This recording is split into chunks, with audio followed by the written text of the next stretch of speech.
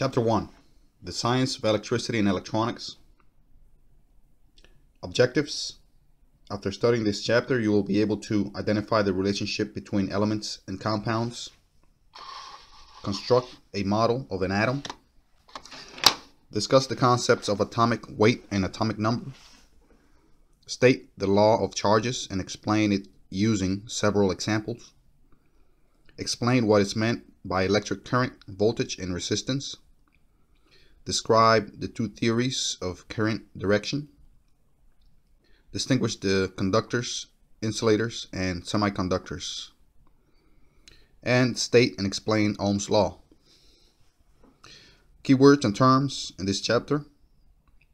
The following words and terms will become important pieces of your electricity and electronics vocabulary, so look for them as you listen to this chapter.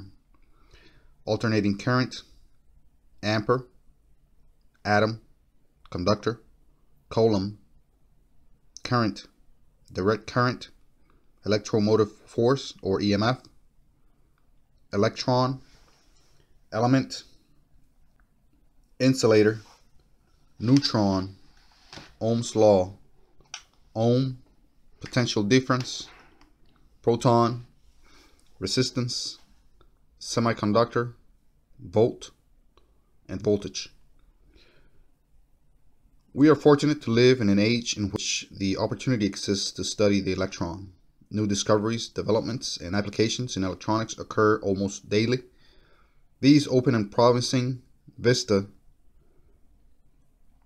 these open a promising vista of unlimited opportunities for the creative scientist as well as for the skilled technician.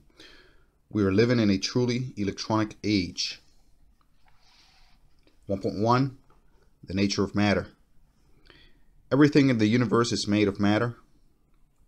Matter can be defined as anything that occupies space or has mass. Matter can be found in the form of solids, liquids, and gases. However, these states are subject to relative temperatures. Water is usually found in liquid form, yet water can be readily changed to a solid or a vapor form by changing its temperature. Matter can also be described by color, taste, and hardness, but these are only observable characteristics. They may not truly identify a substance. To truly identify a substance, the substance must be broken down into its smallest parts. The substance must be described in terms of its atomic structure. Only then can it truly be defined as its behavioral characteristics identified. A substance has been broken down to its purest form. When breaking it down further, change will change its atomic characteristics. This form is called an element there are over 100 elements. Most of these elements occur naturally in our universe. Some of the elements do not occur naturally, but have been created in laboratories. Some common examples of naturally occurring elements are iron, copper, gold, aluminum, carbon, and oxygen. Figure 1-1 is a periodic table. This table lists all of the known elements and describes them in the scientific terms that make them each unique. If two or more of these elements are mixed together, a compound is created. A compound can be reduced to its individual elements. An element can be reduced to its atomic structure. If the atomic structure is reduced, that element is changed to a different element. Molecule in the atom. If a crystal of a table salt is cut in half, the result is two smaller crystals of common salt. The composition of the salt crystal does not change. It is simply smaller. Salt is a chemical compound composed of two different elements. The elements are sodium and chlorine. Each of these elements, sodium and chlorine, are deadly poisons to the human body. But when combined, sodium and chlorine become the harmless compound known as common table salt. See figure 1-2. If it were possible for you to smash that crystal of salt into its smallest possible piece, you would have one molecule of salt. A molecule is the smallest part of a compound that still that still retains its all of the characteristics of that compound. If you reduce that single molecule of salt into the into its next smallest form, it is no longer salt. It is now broken down into different parts. These two parts are the basic elements sodium and chlorine. If you have not, you have now created poisons out of the normally harmless salt. But do not worry, we have never known salt to be reduced at the dinner table. The smallest form of an element is known as the atom. The word atom is derived from the Greek word meaning indivisible.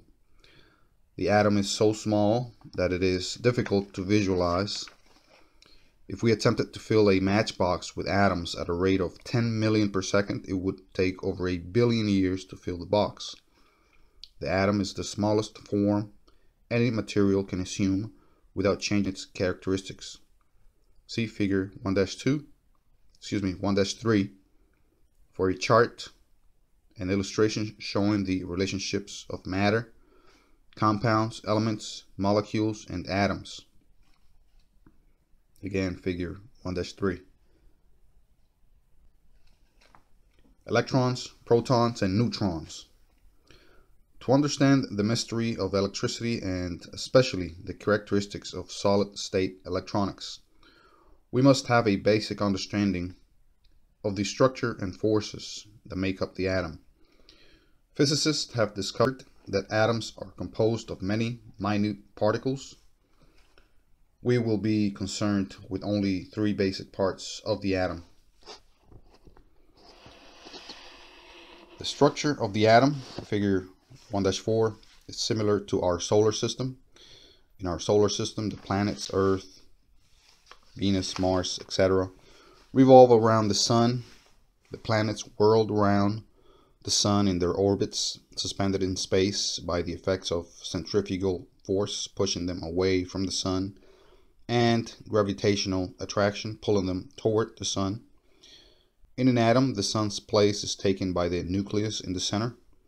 Electrons whirl around this nucleus. While planets are held in place with gravity, electrons are held in place in their orbits by their attraction to the nucleus, over, overcoming the centrifugal force. The electrons orbiting the orbiting around the nucleus display a negative charge. The nucleus displays a positive charge because, because it is composed of positively, positively charged protons and neutrally charged neutrons that are neither negative or positive. The number of electrons and protons that make up a particular atom are usually equal in number. This equal number creates a canceling effect between the negative and the positive charges. The atomic structure of each element can be described as having a fixed number of electrons in orbit. Examples of the atomic structure of two common elements are displayed in figure 1-5. All elements are arranged in the periodic table of elements according to their atomic number. The atomic number of an element refers to the number of protons or electrons that make up an atom of that element. The order of elements may also be arranged by atomic weight. The atomic weight of an element refers to the approximate number of protons and neutrons in the nucleus. Referring to figure 1-1, note that the atomic weight of hydrogen is 1 or scientifically 1.008, and its atomic number is 1. The atomic weight of oxygen is 16. Its atomic number is 8. Ionization. Usually, an atom remains in its normal state unless energy is added by some exterior force, such as heat, friction, or bombardment by other electrons. When energy is added to an atom, the atom becomes excited. If the exterior force is of sufficient strength, electrons in the atom's outer rings or orbits can leave their orbit. How tightly bound these outer electrons are to an atom depends on the element and the number of electrons in the outer orbit. If electrons leave the outer orbit, an atom, the atom becomes out of balance electrically.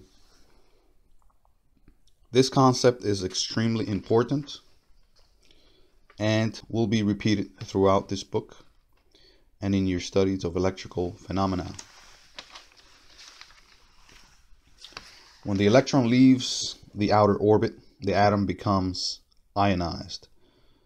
Figure 1-6, an ionized atom is electrically unbalanced. An atom that loses an electron from its outer orbit has more protons or positive particles in the nucleus than electrons or negative particles in orbit around the atom. The atom becomes a positive ion and displays positively charged characteristics. When an atom gains an, an extra electron, it becomes a negative ion. Negative ions display negatively charged characteristics. The electron that has broken out of its orbits is negatively charged. This concept of negative, negative and positive ions is a key building block to understanding electronic theory.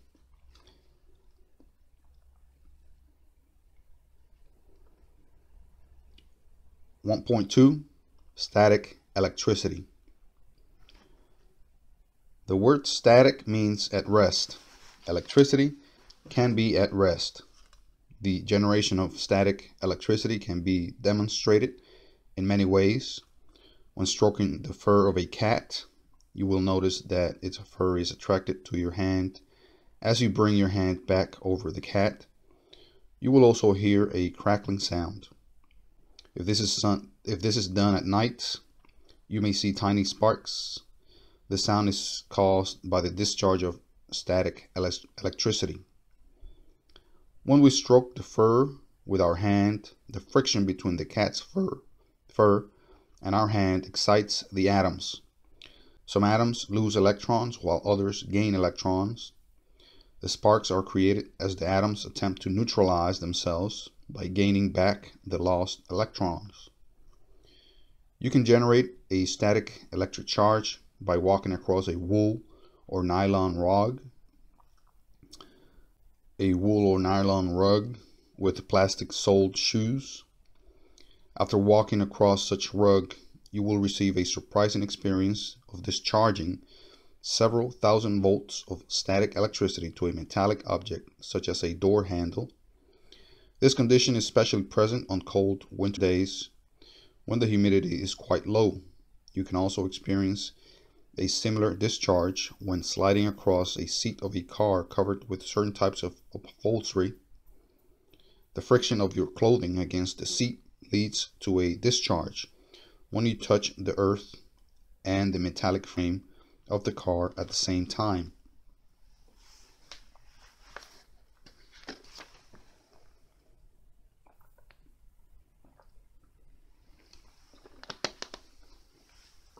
Law of charges. One of the fundamental laws in the study of electricity is the law of charges. The law of charges states that like charges repel like charges repel each other and unlike charges attract each other.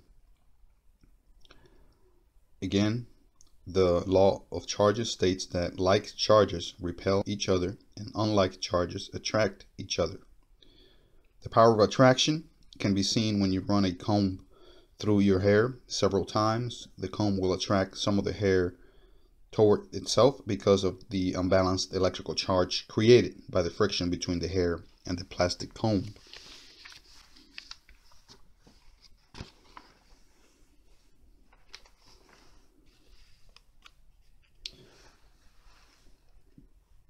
Experiment 1-1 demonstrating the law of charges. These tests demonstrate the law of charges. The materials needed are two strands of suspended pith balls, one vulcanite rod, one piece of fur, one glass rod, and one piece of silk. Step 1 is to negatively charge the vulcanite rod with the piece of fur. Step 2 is to bring the rod close together to the hanging pith ball. Step 3 is to observe that the ball is first attracted to the rod because of unlike charges. When the ball touches the rod, it is immediately repelled. Continue to attempt to touch the pith ball with the vulcanite rod. Examine Exhibit 1-1A. Why has the pith ball attracted, acted this way? 4. Recharge the vulcanite rod and touch it to the second pith ball. You now have two negatively charged pith balls. Bring the two pith balls near each other. Do your observations match those of Exhibit 1-1B. 6. Charge up the glass rod by rubbing it with a piece of silk. Touch the glass rod to one of the pith balls. Leave the other negatively charged. 7. Bring the two pith balls near each other. Do your observations match those of Exhibit 1-1C? If so, explain why you have just observed using the law of charges.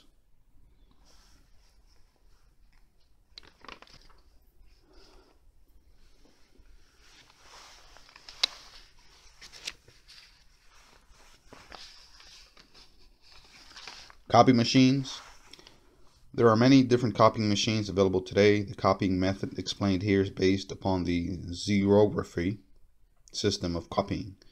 The term xerography is derived from the Greek xeros and graph, meaning dry writing.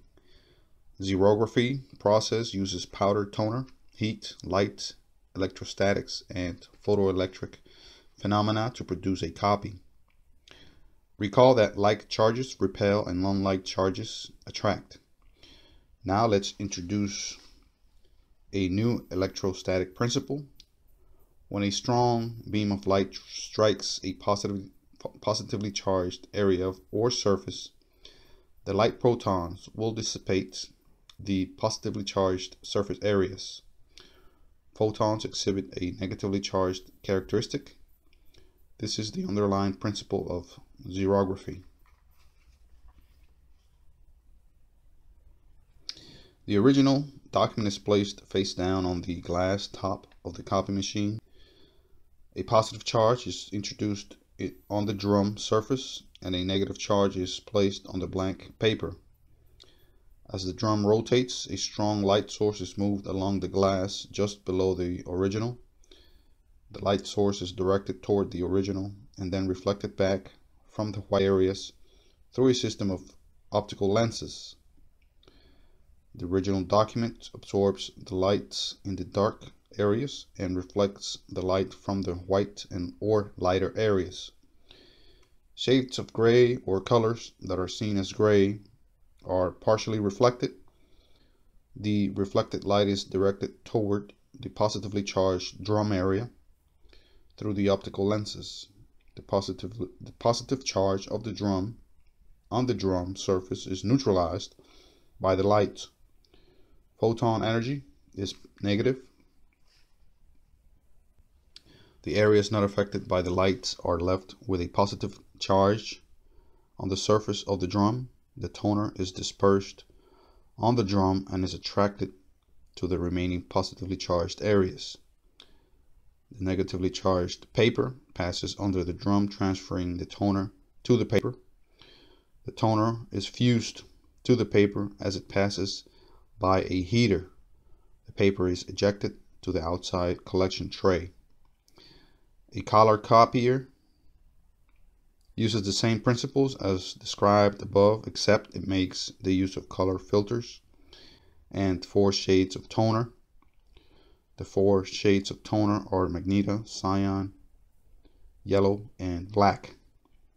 These four colors are mixed to produce the different colors of the on the original. The light and optic systems use color filters to transfer the image to the roller and add the colored toner in stages. Other refinements of copier systems include the use of electronics and advanced optical lens systems.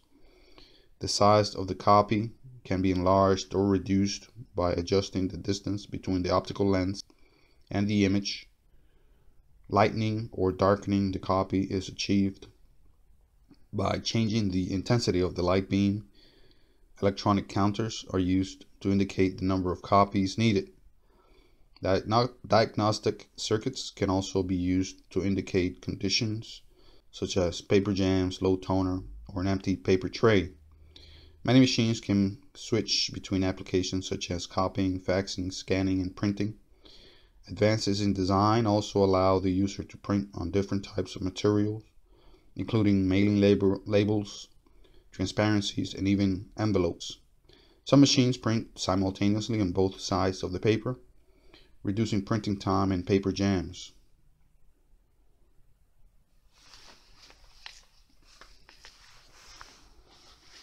Another experiment, experiment 1-2, examining electrical induction and conduction. These two short tests examine the law of charges using electrical induction and conduction. The materials include one electroscope, one vulcanite rod, and one piece of fur. One, quickly rub the vulcanite rod with the fur. You have just placed a negative charge on the rod. Electrons have been transferred to the rod from the fur by friction. 2. Bring the charged rod close but not but do not touch the electroscope. The leaves in the electroscope expand. 3. Move the rod away from the electroscope. The leaves drop back, drop back down. 4. Examine Exhibit 1-2A. Can you explain what you've just observed? 5. Recharge the vulcanite rod, rod with the fur. 6. Touch the ball on the electroscope with the rod. Observe that the leaves in the electroscope expand. 7. Move the rod away from the electroscope. Observe that the leaves do not drop back down. 8. Examine Exhibit 1-2B can you explain why the leaves behaved differently in this test? Discuss the concepts of induction and conduction with your instructor. The coulomb. The force of attraction and repulsion of charged particles was studied by the French scientist Charles A. Coulomb because an atom and electrons in a in particular are so very small, a charge of a few electrons, say a dozen, is almost impossible to measure. Consequently, Coulomb developed a practical unit for measurement of an amount of electricity. It is known as the coulomb. One coulomb represents approximately 6.24 times 10 to the 18th electrons while the coulomb is used to describe the flow of electricity. It is not to be used, it is not used to describe static charges. It is impractical to describe the very small difference in charges between two bodies using values so large. Electrostatic fields. The field of force surrounding a charged body is called the electrostatic field or dielectric field. The field can exhibit a positive or negative charge depending on a gain or loss of electrons. Two charged masses are shown in figure 1-7. Lines represent electrostatic fields of opposite polarity and the attractive force existing between the masses. In figure 1-8, two charged masses are shown with like polarities. A repulsive force exists between the charged masses due to the electrostatic fields. The field is strongest very close to the charged body. The field strength diminishes at a distance inversely proportional to the square of the distance. Figure 1-9 illustrates the concept of strength being inversely proportional to the square of the distance. When two electrostatic fields are joined together, the electrons flow from one from the mass with an excess of electrons to the mass that has that has a need of electrons. Figure 1-10, illustrates this principle. The excess electrons from the body that is negatively charged to the positively charged body that has the electron deficiency. This transfer of electrons can be accomplished by touching the two bodies together or by connecting them with a material that supports the flow of electrons between the two bodies. This connecting material is known as a conductor because it conducts electricity. Induction. Charges can be transferred in two ways. One way is by direct contact. When a charged body, such as a glass rod, touches another body, such as a, the top of an electroscope, the electroscope takes on part of the charge of the rod Another way of transferring charge is by induction. A charge is induced by bringing a charged object near another object. The glass rod need only be brought near the top of the electroscope to charge it. When an object is charged by induction, the object takes the takes on the opposite charge as the rod. When the rod touches the object, the object takes the same charge as the rod. Refer back to experiment 1-2. Static electricity applications. The principles of static electricity are used in industry to produce to reduce air pollution. One piece of equipment used in reducing pollution is called the electrostatic precipitator. Most precipitators are divided into two parts, a charging section and a collecting section. The charging section can be designed in many different ways. It can be an assembly of parallel rods or wires, a screen pattern or bank of piping. Regardless of the physical design, the electrical principle is the same in all cases. Figure 1-11 illustrates the operation of the electrostatic precipitator. A grid of electrodes is installed into the stream of pollutants. The stream of pollutants. The electrodes are charged between 45,000 and 75,000 volts, forming an ionized field or a corona around the around each electrode. A corona is an area of ion or static charge surrounding a high voltage conductor. The pollution particles become negatively charged as they pass through the corona. The negatively charged particles are then attracted to the positively charged collection plates. After the collection plates become laden with pollution particles, they must be cleaned. This principle of removing particles or pollutants from the air is used in, in industries such as concrete, paper, chemical, and coal-fired power generation. The application of electrostatic of electrostatics is also gaining popularity in residential use. Electrostatic filters are a part of the latest air conditioning systems. The principle of attraction and repulsion is also applied within the painting industry and in the manufacture of sandpaper. The painting industry sprays a positively charged mist of paint onto a negatively charged surface such as the panels of an automobile. This procedure reduces the amount of overspray and saves paint.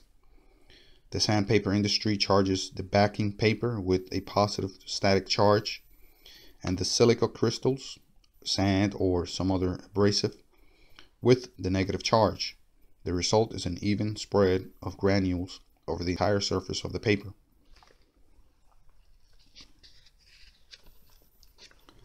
Basic electrical circuit. A basic electrical circuit consists of three main parts, a voltage source, a load, and conductors.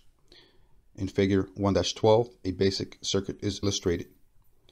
This circuit consists of a battery as the source of electrical energy, a lamp as the electrical load, and two wires as the conductors connecting to the battery, uh, connecting the battery to the lamp.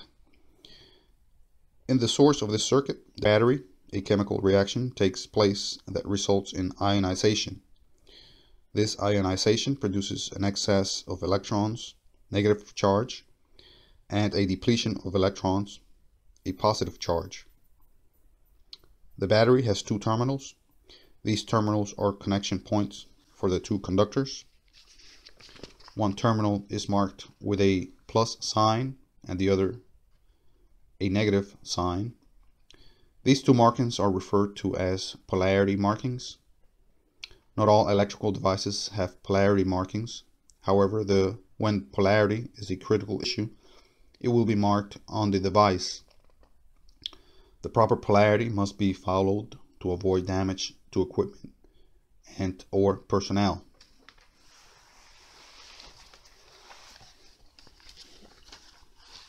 Lesson in safety. There will be occasions when you become confused while working on electrical project and with unfamiliar devices. Anytime you are uncertain about connecting any electrical device, check with your instructor, manager, or expert in the field. Damage from an improperly connected circuit is usually instantaneous and cannot be reversed. A load is created when the electrical energy produced in a circuit is converted to some other form of energy such as heat, light, or magnetism. The load in the sample in the simple circuit in figure 1-12 is a lamp that produces light. The source and the load should match according to the voltage rating. If the lamp is rated at 6 volts, then the battery should also be rated at 6 volts. If the battery is rated at, at a lower voltage rating, the lamp will appear dim or will not light. If the battery is rated at much higher voltage, the lamp will be damaged by the excess electrical energy.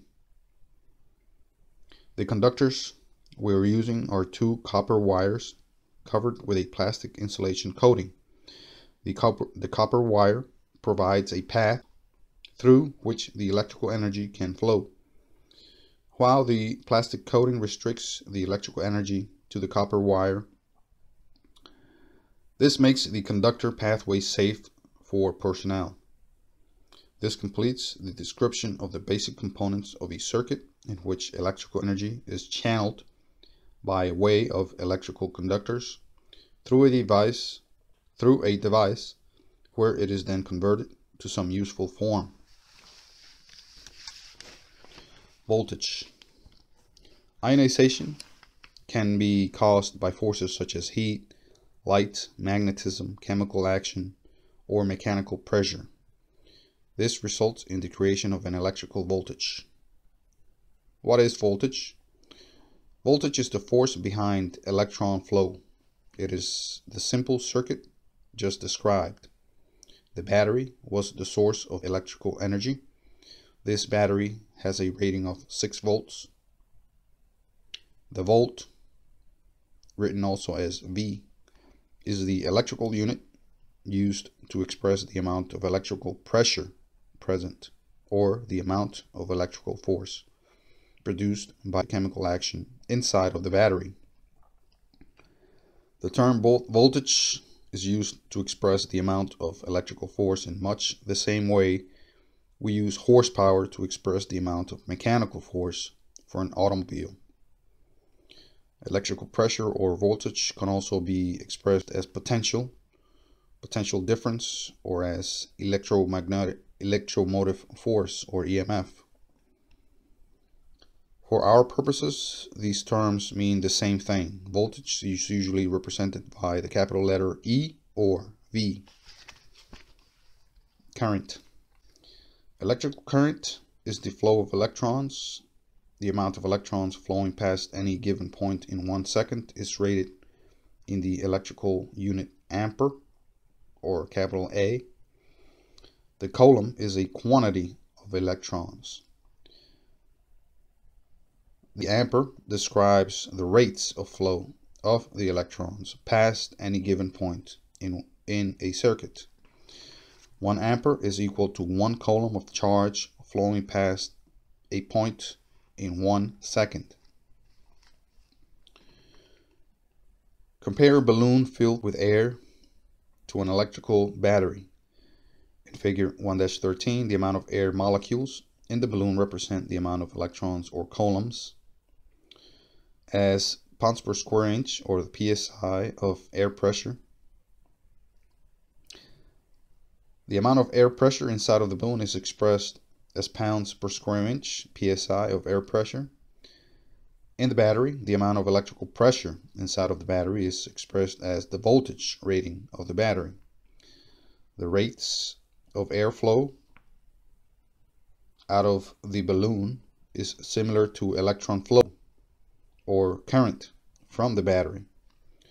The current from the battery is the electrical circuit in the electrical circuit. The current from the battery in the electrical circuit is the volume of electrons flow past a given point and is rated in amperes or amps just as the air will continue to escape from the balloon until the balloon is empty Electron flow will continue as long as there is voltage or electrical pressure present in the battery. Resistance. All electrical circuits have resistance. Resistance is the opposition of the flow of electrons.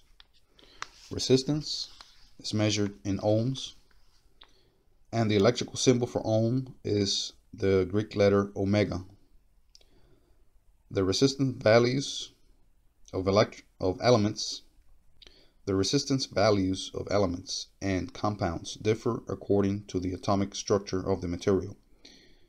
A good conductor of electricity is anything that permits the free flow of electrons. A poor conductor of electricity is a material that will not permit the free flow of electrons. Extremely poor conductors are referred to as insulators. A semiconductor is a material that limits the flow of free electrons. A semiconductor is considered neither a good conductor nor a poor conductor of electricity. Semiconductor materials are at the very heart of modern electronic applications and will be explored in depth in Chapter 17. Some examples of conductors and, and insulators are listed in Figure 1-14. Note that the Earth can be a good conductor of electricity. There are many factors that determine whether or not the Earth will be a good, a good conductor. The Earth's conductivity is primarily dependent upon its organic comp composition and on the minerals found in the soil at any given place. The amount of moisture in soil also determines the amount of resistance in the soil. Moisture, moisture can affect the electrical con conducting ability of many materials. It can even cause an insulator to become a good conductor. Take wood as an example to illustrate this point. When wood is dry, it is classified as an insulator, but when it wood becomes wet or moist, it behaves more like a semiconductor. It is the outer ring of an atom that determines whether an element is a good or poor conductor. If the outer ring has only one electron, that electron can be freed from its orbit rather easily by an outside force. If there are many electrons in the outer orbit, the electrons are held tighter in orbit and they are harder to free from the atom. Elements that do not readily give up an electron are insulators. Figure 1-15 is an illustration of the copper atom. Notice how this atom has only one electron in its outer orbit. This electron can easily be freed by an outside force. Copper is an excellent conductor of electricity.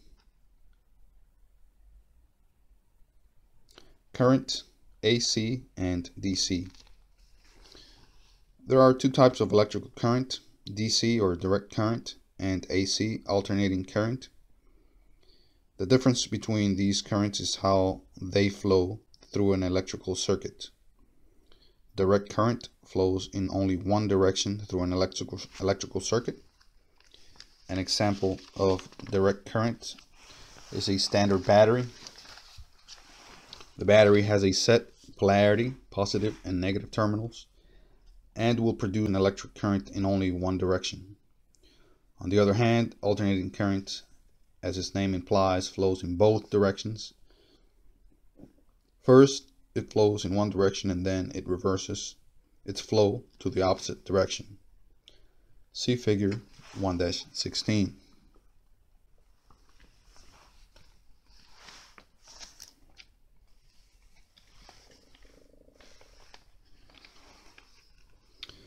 There are no positive or negative polarity markings in alternating current because the polarity changes so rapidly in the typical AC electrical circuit the terms cycle and hertz are used to describe how fast the current is alternating or changing direction in the circuit. A 60 cycle AC circuit operating at 60 hertz changes direction 120 times per second. This is the standard for AC in the United States. Conventional current flow versus electron flow theory. Approximately 200 years ago, scientists theorized that electricity had both positive and negative polarities. At the time, they arbitrarily decided that electrical current flowed from positive to negative. While it was never actually proven as fact, this theory was accepted for quite some time. This theory is known as the conventional current flow theory. As our knowledge of science progressed and with the discovery of the atom and semiconductor electronics, it became apparent that the conventional current flow theory was incorrect. It is widely accepted that it is the electrons that actually move, flowing from negative to positive, not from positive to, to negative. This newer theory is known as the electron flow theory. The emergence of this new theory caused a controversy that still is, uh, that still is in existence today. For over 150 years, all circuit designs have been based upon the old conventional current flow theory. Many circuits and devices still used today are based on the conventional theory. This text uses the convention that will be that will make the concepts in each example more easily most easily understood understood. Most of the figures in this text show electron flow Regardless of which theory is used to explain the phenomena of electronics, the most important point is that the correct polarity must be maintained when building circuits with devices that require a definite polarity. Examine each example for polarity markings. See figure 1-17. Series and parallel. Series and parallel, parallel are two important concepts. They must be learned early to fully understand the next few chapters. There are two ways there are two ways a component can be connected in a circuit, either series or parallel. Figure 1-18 and Figure 1-19 illustrate the two types of connections. The circuit in Figure 1-18 has three lamps connected to a battery. In this circuit, there is only one path over which the electrons can flow.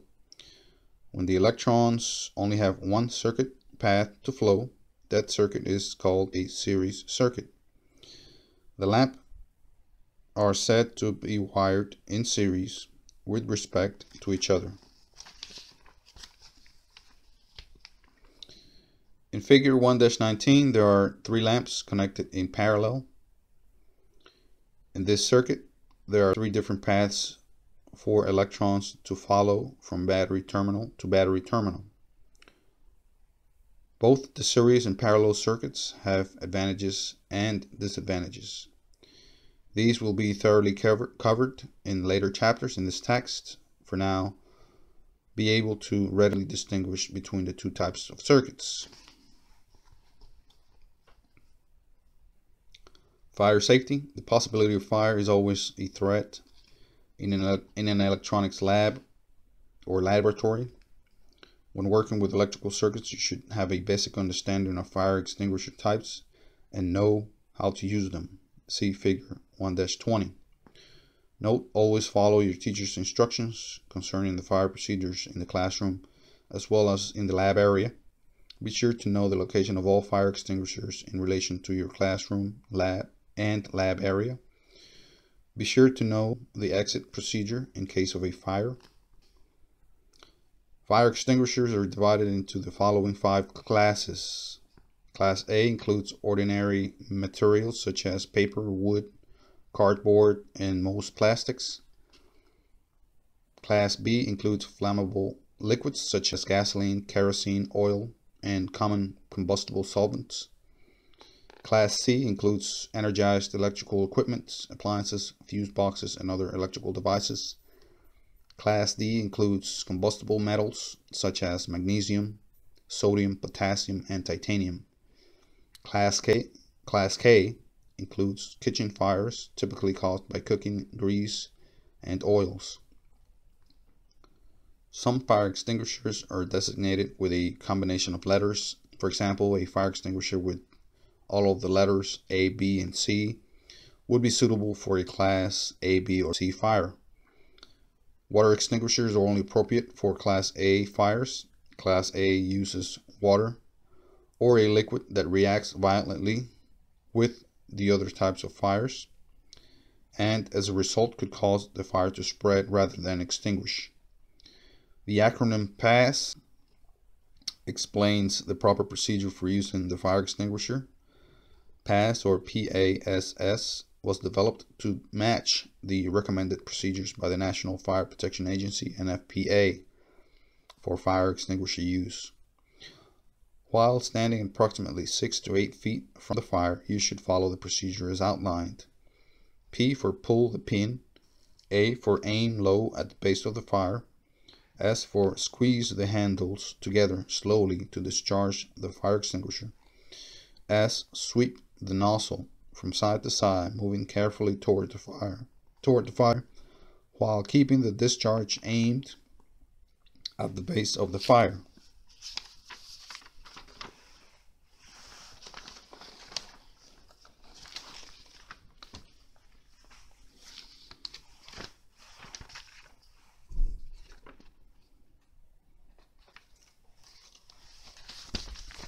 Ohm's Law 1 1.4 Ohm's law.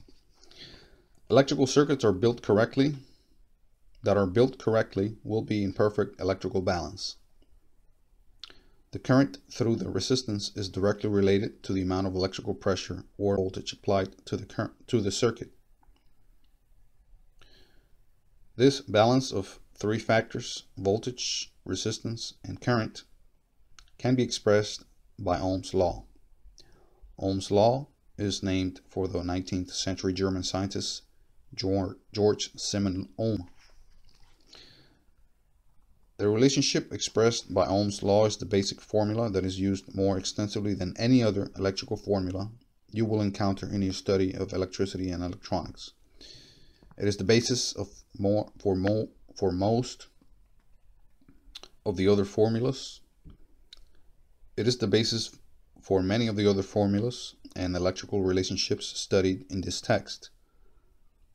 Ohm's law states that the current measured in amperes in a circuit is equal to the applied voltage divided by the resistance.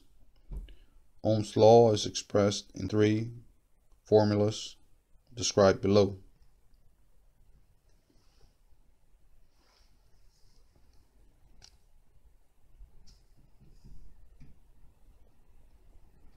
Learning Ohm's law is illustrated in figure 1-21. To see how easy it is to use, simply cover the unknown quantity with your finger and the remaining letters will show the resulting equation. For example, when the voltage is the unknown quant quantity, cover the E with your finger, and then I and R remain. Thus, E equals I times R, or voltage equals current times resistance. Now cover the I with your finger, and the E over the R remains. Thus, I equals E divided by R, or current equals voltage divided by resistance. Let's look at, a, at an application of Ohm's law. In figure 1-22, a lamp is a resistance of has a resistance. A lamp with a resistance of 4 ohms has been connected to a 12 volt source. The current is unknown. By applying Ohm's law, you can determine the current to be equal to 3 amperes. In figure 1-23, a 24 volt ohm, a 24 ohm resistance heater works most effectively when using a 5 amp of current. How much voltage is required for the heater to operate at 5 amps? By applying Ohm's law, the amount of electrical pressure needed to conduct 5 amps through a 4 to, through a 24 ohm ohm resistance is 120 volts. In figure 1-24, a resistor is connected to a 24 volt source. A meter that measures currents indicates there are 3 amperes present in the circuit. Again, by applying Ohm's law, the amount of resistance needed to limit the current value to 3 amperes is found to be 8 ohms. The application of Ohm's law may seem strange at first, but with a little practice it will become second nature to you. Electrical prefixes. Measurement of electrical quantities vary from small amounts to large amounts.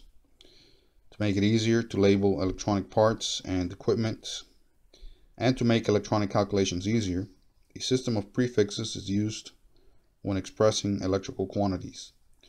Without this system, we would need to use an excessive amount of zeros to the left of the right, to the left and the right of a decimal point. Figure 1-25 is a listing of the most common prefixes used in the electronics industry today. When an electrical quantity, such as a voltage, is written, it is expressed in units such as kilovolt, megavolt, millivolt, microvolts, to avoid using an awkward numerical form. For example, the quantity 5 million volts would be written as 5 MV. If the quantity was 0.005 or 5 thousandths of a volt, it would be written as 5 millivolt or 5 M, a small m, uh, capital V. It is important to note the use of the uppercase letters and duplicate lower case letters in the in these units.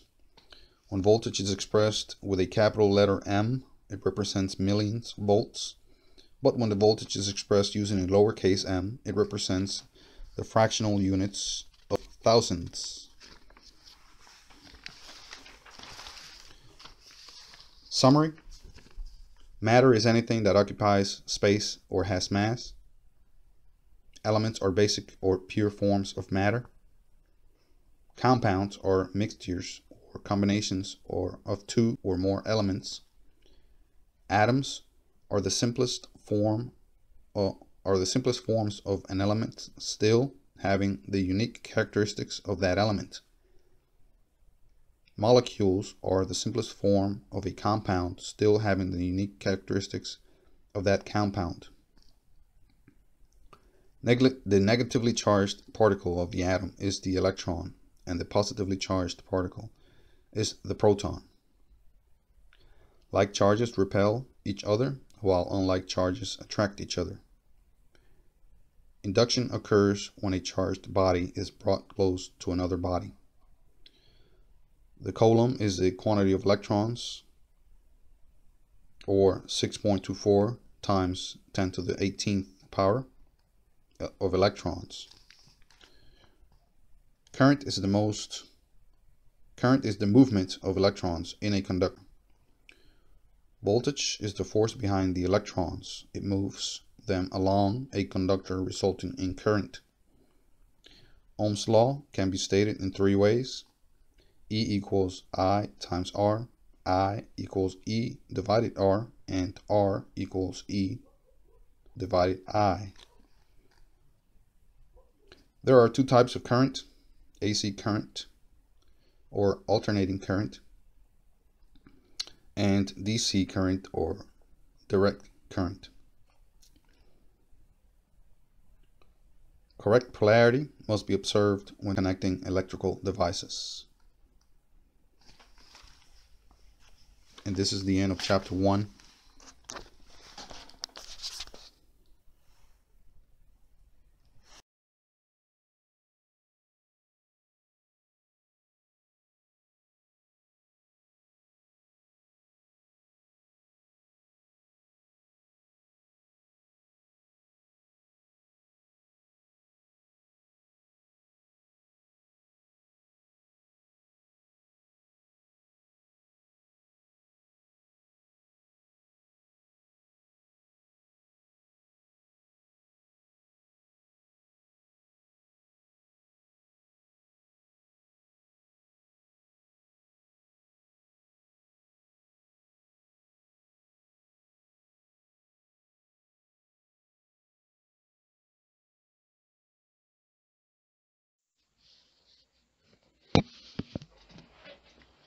The Science of Electricity and Electronics. A note from the instructor, Jerome Barnes, read by Hector Bello. Lesson 1. In order to immerse yourself in the field of electricity and electronics, you must first understand the science of electricity and electronics. Matter is anything that occupies space and can be found in various forms, solids, liquids, and gases. Therefore, everything is made of matter. Matter can be described in various ways, but the true identity of a substance is revealed when it is broken down into its purest, form, purest form. This is known as an element. There are 100 element, elements, over 100 elements, which are displayed on the periodic table. The smallest form of the element, known as an atom, is most important to the electrical and electronics world. An atom is made up of three important parts, electrons, protons, and neutrons. Electrons are negative, protons are positive, and neutrons are neutral. The nucleus of a atom has an equal amount of protons and neutrons in its inner ring. The outer ring is where the electrons circle around the inner ring. If you add some type of energy, it will cause the atoms to become excited, and the electrons in the outer ring can leave its outer orbit. Electrons that leave the orbit can cause the atom, the atom to become ionized or electrically unbalanced. When these electrons leave, it causes the atom to be to become more positive, a positive ion, because of the greater amount of protons left, greater than the electrons that is. If the atom gains an electron, it is known as a negative ion, because the electrons are greater than the protons in the atom that is. The concept of positive and negative charge is the foundational key to electricity and electronics. Again, the concept of positive and negative charge is the foundational key of electricity and electronics. A good example of this concept is when you take two magnets and put them together.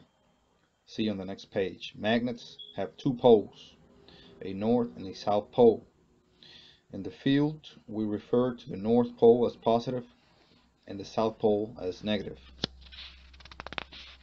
If like charges are put together,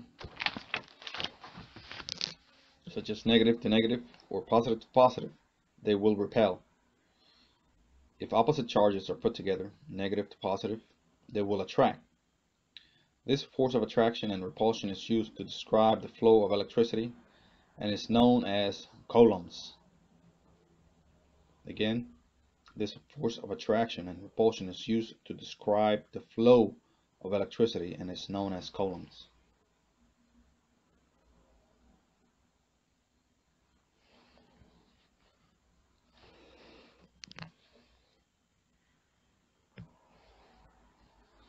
These magnets, as the ones shown is in figure D, page 1-4, create an electrostatic field where the electrons will flow from the mass with the greater amount to the one with the least amount. Again, the magnets create an electrostatic field where the electrons will flow from the mass with the greater amount to, to the, to the one with the least amount.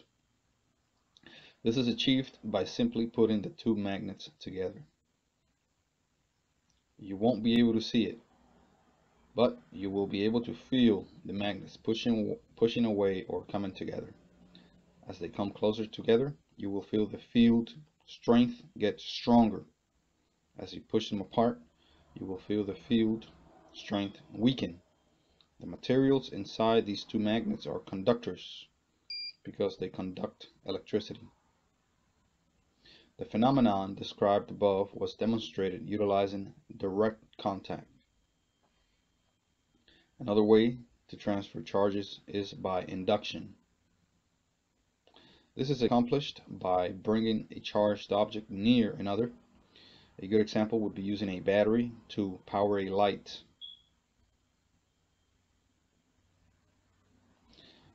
Now that we have the basic concept of electrical theory, out of the way. Let's move forward into learning about electrical circuits. The basic electrical circuit will have three parts. Notice I said basic because as we go further into the course, we'll add more to the circuits. But for now, we will concentrate on the basic circuit. The three main parts are voltage, a load, a conductor, and a conductor. The voltage in this case will be supplied by a battery. The load will be a simple lamp or something we are trying to get to work. The conductor is, is the wire we use to hook up to hook the battery to the lamp or to transfer the current. When you take one side of the battery and wire it to the lamp and wire the other side of the lamp back to the switch and the other side of the switch to the other side of the battery, the electrical energy will cause the lamp to produce light. Always remember the size of your load or lamp in this case and the, and the source which is the battery. Uh, they are the same. The size of the load and the, the load and the source are the same. If not, you can cause the circuit to malfunction or not work at all. With the knowledge of a simple circuit, we can now move on onto the vital, vital parts of, an, of all electrical circuits, which you will see throughout your career in electronics. Voltage, current, and resistance. Voltage is the force behind electron flow, or the difference in potential that causes electrons to flow. Its unit of measure is volts, which is expressed by the letters E or V. When voltage is produced, it can, it can either be AC or DC, depending upon the power supply, that's alternating current or direct current. If the power supply is a battery, you will read DC volts. If the power supply is a transformer, you will read AC volts. These types of voltage readings will become clearer to you in the next chapter. Current. Current is the flow or movement of electrons. Its unit of measurement is amperes, which is represented by the letter I. It flows from negative to positive, like voltage. Like voltage, current has two types, AC and DC. AC or alternating alternating current flows in two directions.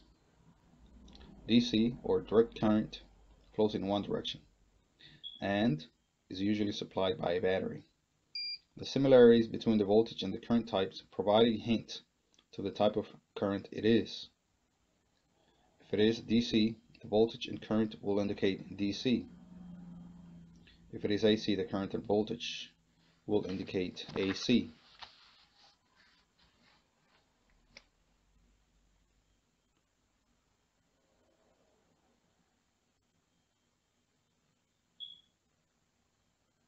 Resistance is the opposition to the current. It is measured in ohms, which is represented by the Greek letter omega. Resistive values vary among the types of material used to build them. A good piece of material that allows current to flow is known as a conductor. A bad piece of material that doesn't allow current to flow through it is known as an insulator. A good example of both is a piece of wire see below the inside the inside consists of the copper piece that allows the current to flow. The outside consists of the material used to cover the wire and current will not flow through it. Here are a few other examples of conductors and insulators such as aluminum iron steel copper rubber and plastic.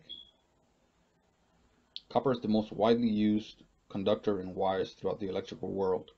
Rubber and plastic are the most used insulators.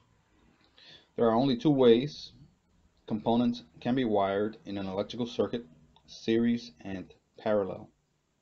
Again, there are only two ways components can be wired in an electrical circuit, series and parallel. In a series circuit, figure 1-1.8, the electrons only have one path for current to flow. In a parallel circuit, you have multiple paths for current to flow.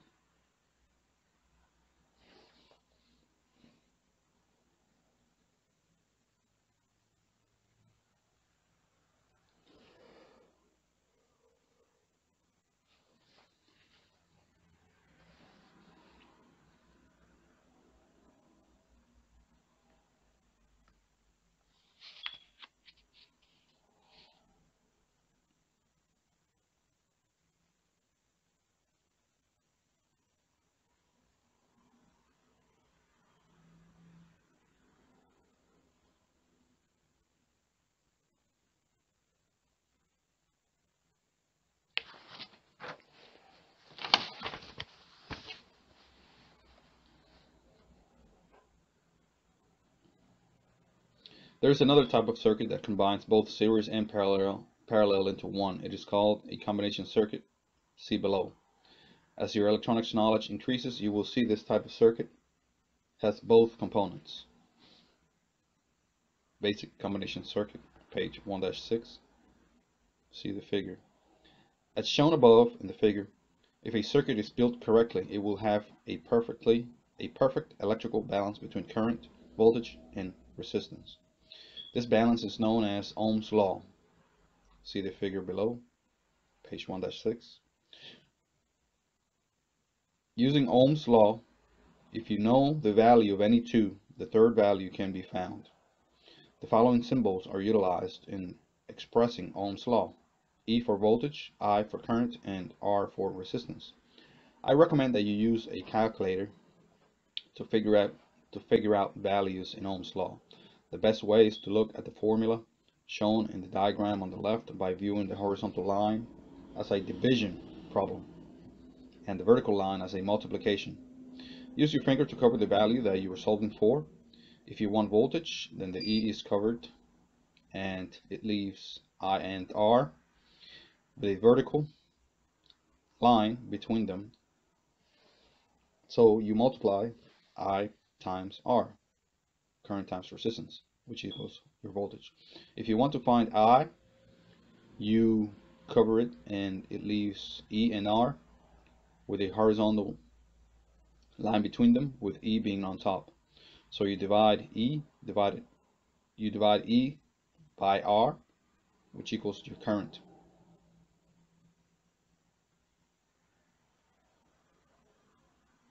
You can do this, you can do the same for whatever value you are solving for. Take a few minutes and apply some values to different variables to sharpen your skills to get a clear picture of the relationship between the three. Example, if voltage or E equals 10 and resistance equals 5, what is I?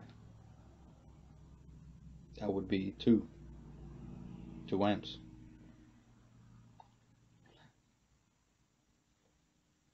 As we bring the lesson to a close, there is one other area I want to touch on. In the world of electricity and electronics, you will deal with very small numbers and very large numbers. A prefix system was created to make it easier to deal with such numbers. Shown to the next shown on the next page, the easy way to remember the prefixes is by thinking in terms of zero of a zero on a number line. If it is to the right, it is going to be represented by a capital letter. If it is to the left, it is going to be represented by a lowercase letter. These letters merely tell you how many zeros go after or before your number. If you want to write 3000, it is written as 3K or 3 kilo. Uh, that's K with a capital K. If you want to write 0.003 or 0.3, or excuse me, 3 three um, thousandths. It is written 3m with a three with a m with a lowercase m. Rem remembering those prefixes are essential in electronics because they will be around as you dive in deep into the profession.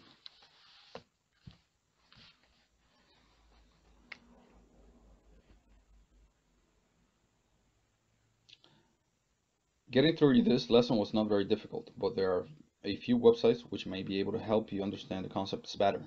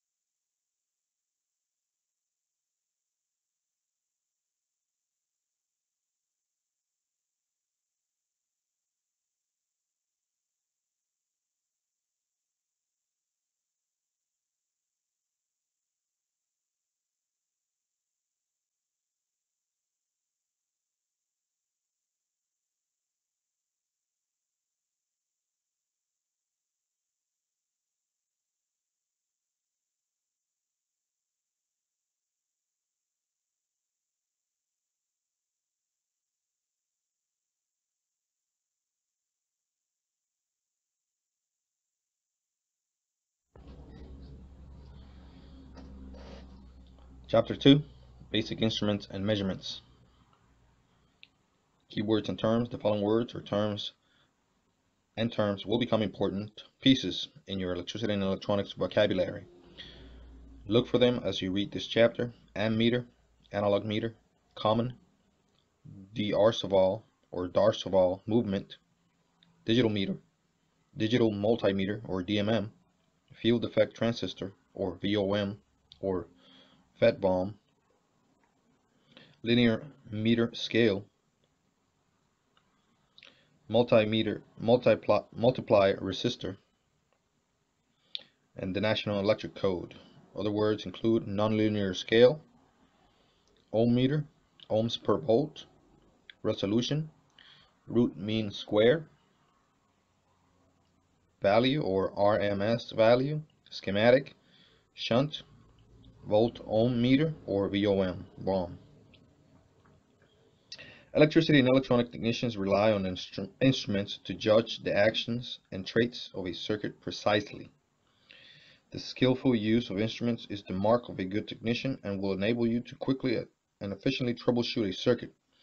The student of electricity and electronics must know what he or she is trying to measure and how to measure it. In this chapter we will discuss the three most common types of meters used today. These meters are the ohm meter, the ammeter, and the voltmeter. Each of these meters will be covered thoroughly to give you basic, the basic skills necessary to continue your studies. Think of an electrical meter as an electronic ruler that is used to measure electrical quantities such as voltage, current, and resistance. The meters you will be using come in two formats.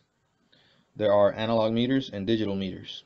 Analog meters, discussed first in this chapter, use a scale with continuous variable values. Digital meters, meters give values discrete in discrete amounts using the units 0 through 9.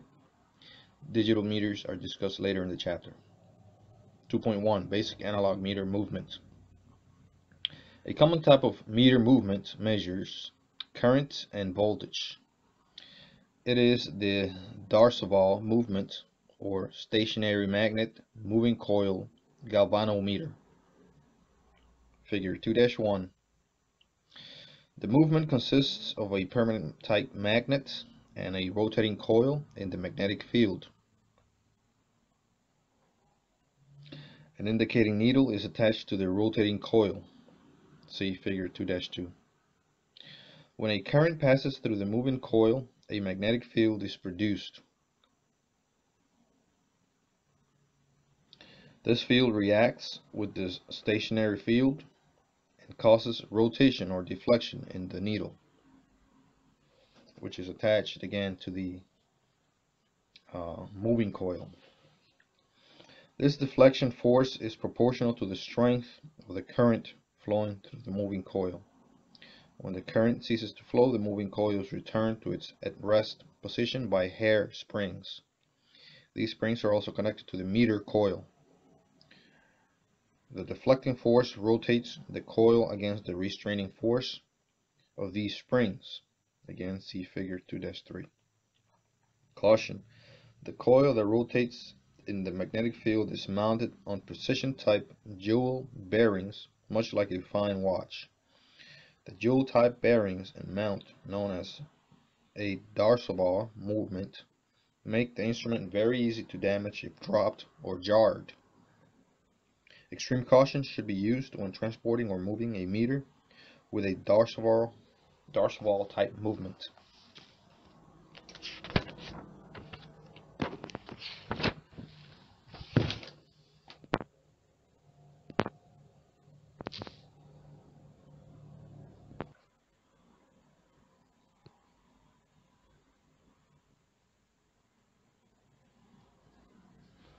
Figure 2-1 in page 34 will show you a phantom view of the D'Arsonval meter movement.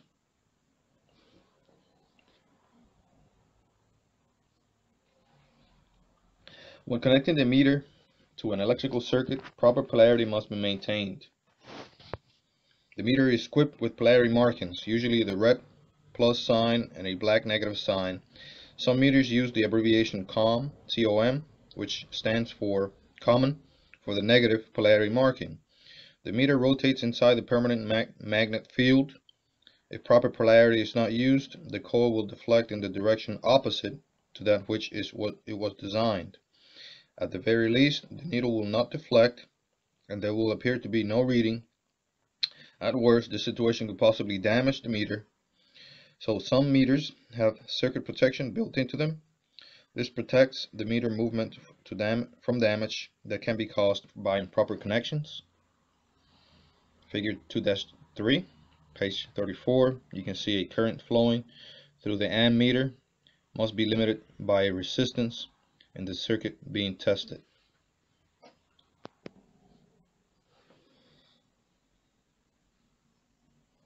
The iron vane meter movement. The operation of the iron vane meter movement is shown in figure 2-4 on page 35. Two pieces of iron are placed in the hollow core of a solenoid or a coil of wire. When the current passes through the solenoid, both pieces of metal become magnetized with the same polarity. Because like poles, poles repel each other, the two pieces of iron are repelled from each other. One piece of metal is fixed in its position, the other piece of metal pivots. The pivoting piece can turn away from the fixed metal. An indicating needle is attached to the moving vane. The needle is equipped with hair springs so that the vane must move against the spring tension for accurate readings.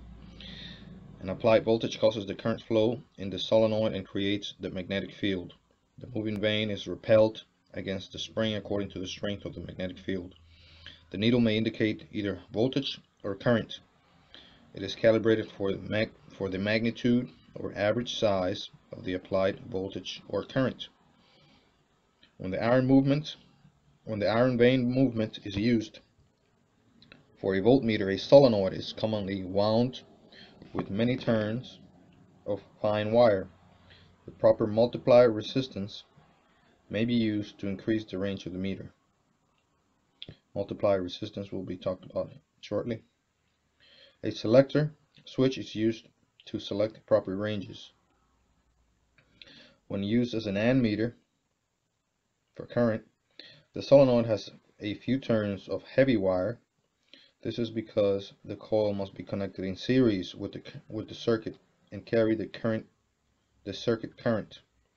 Regardless of the polarity of the applied voltage or current, the iron vane meter movement always deflects in the same direction. Either AC or DC may be measured with this instrument. Generally, this type of meter is best suited for, for high power measurements.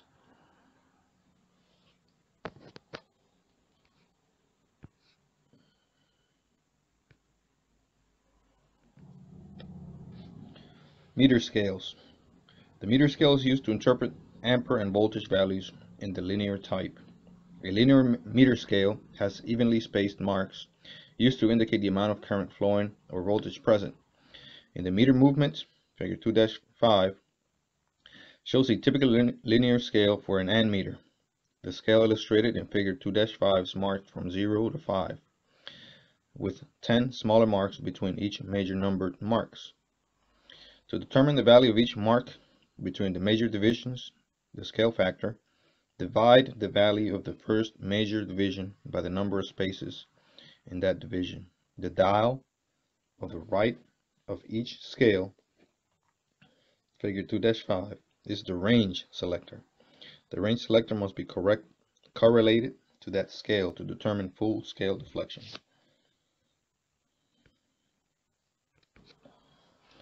The formula for scale factor is as follows. Scale factor, value of measured division, and the number of spaces, divided by the number of spaces. Again, scale factor equals the value of measured division divided by the number of spaces.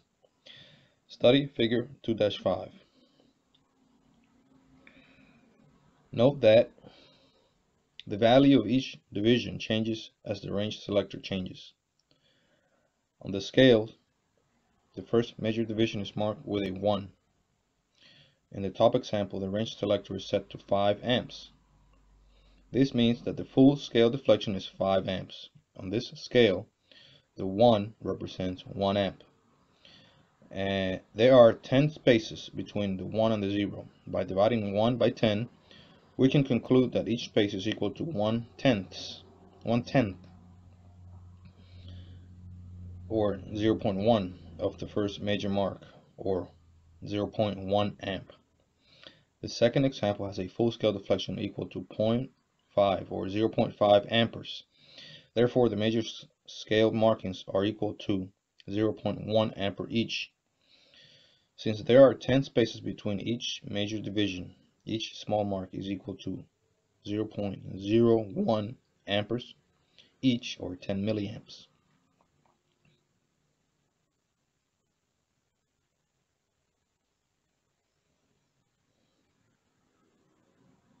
In the third example,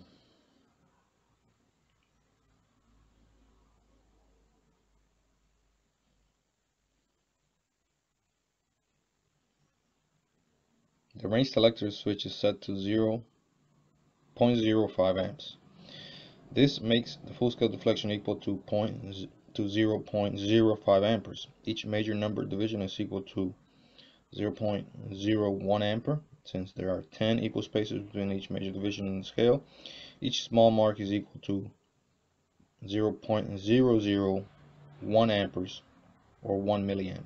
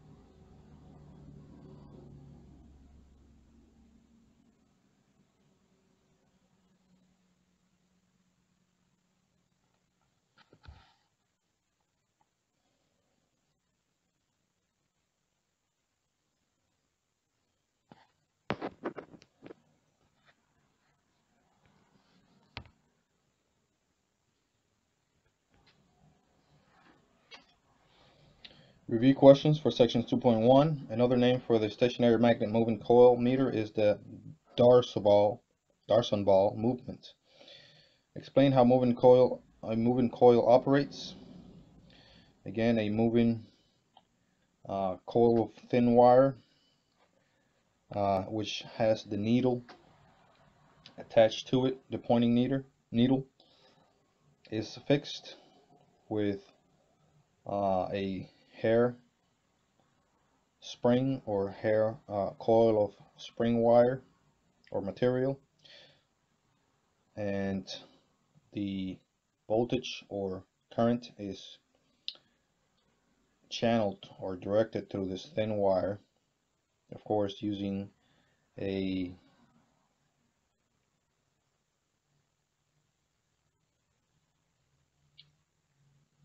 multiplier resistor to uh,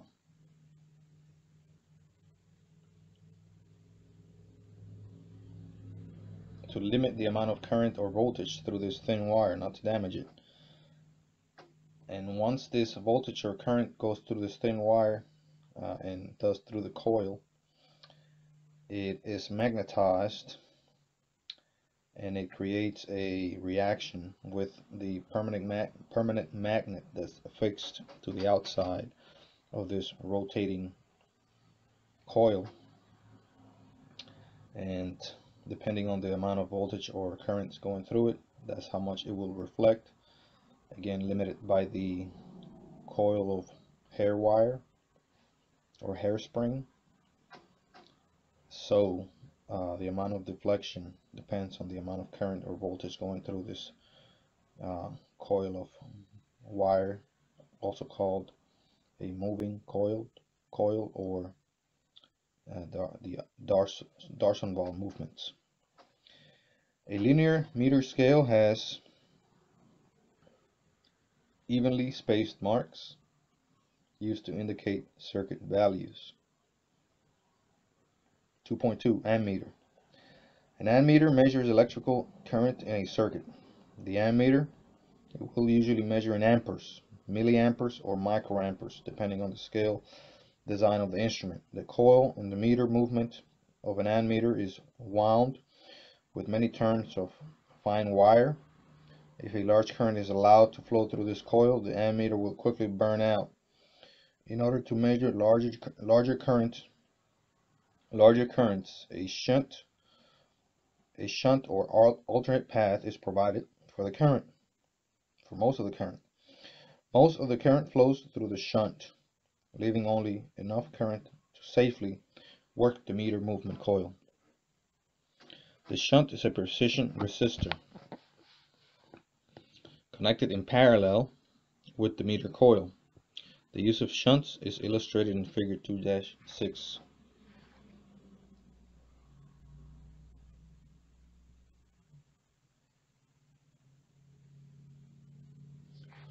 In figure 2-7 you will see the proper way to connect an ammeter to an electrical circuit. The ammeter is connected to, into the circuit. It becomes part of the circuit in order to allow the current to flow through the meter coil.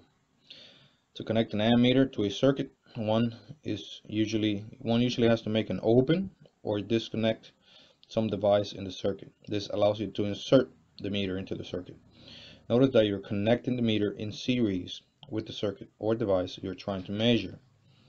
Example, the specification of a certain meter movement requires 0.001 ampere or 1 milliampere of current for full scale deflection to the needle. The ohmic, ohmic, the ohmic resistance of the meter movement coil is 100 ohms.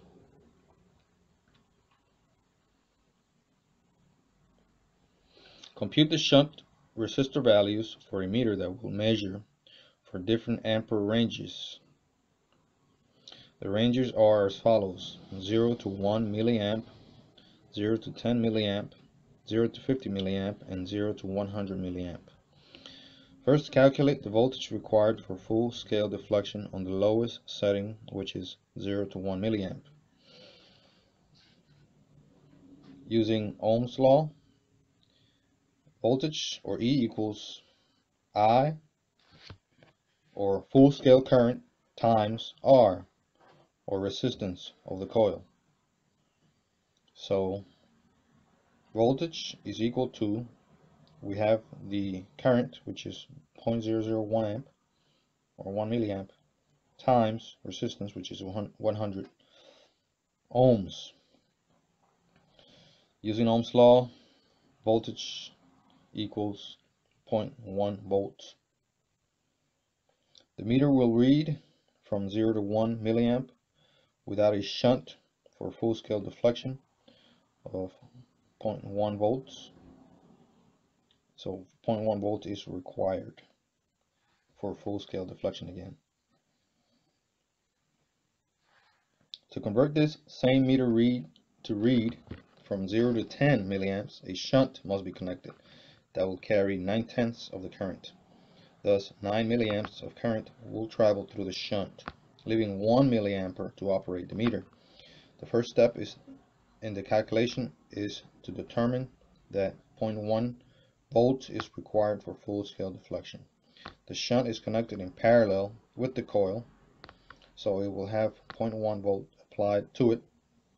Since 0.1 volt must be applied across the shunt, and the shunt must also account for 9 tenths of the current, you can apply Ohm's law to calculate the shunt resistance, excuse me. Again, since 0.1 volt must be applied across the shunt, and the shunt must also account for 9 tenths of the current, you can apply Ohm's law to calculate the shunt's resistance.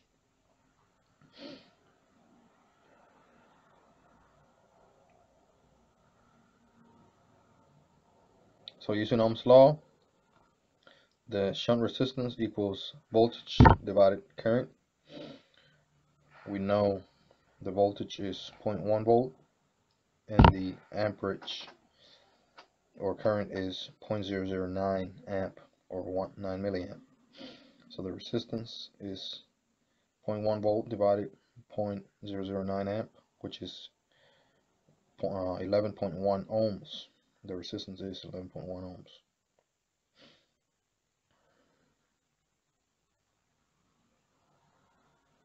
Again, where did the 0.009 amp come from? That is 9 tenths of 10 milliamps, which is 0.0 uh, 0.01 amp. 9 tenths of that is 0.009 amp.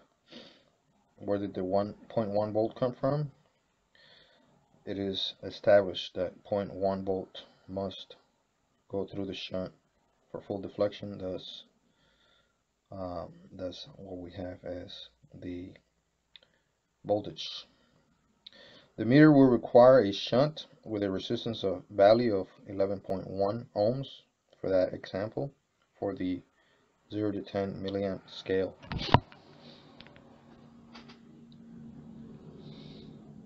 figure 2-6 in page 37 shows uh, steps for the voltage for full scale deflection of the uh, ammeter. Step 1, the voltage that causes the full scale deflection current is computed. Step 2, the shunt carrier carries 9 tenths of the current. Step 3, the shunt carries 49 50th of the current.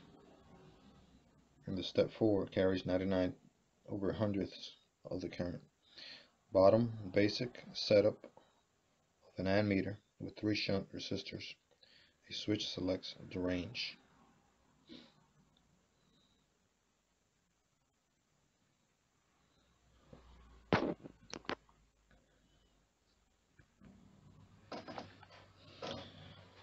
Figure 2-7 on page 38, an ammeter is always connected in series with the circuit device being measured. The meter must be connected with proper polarity.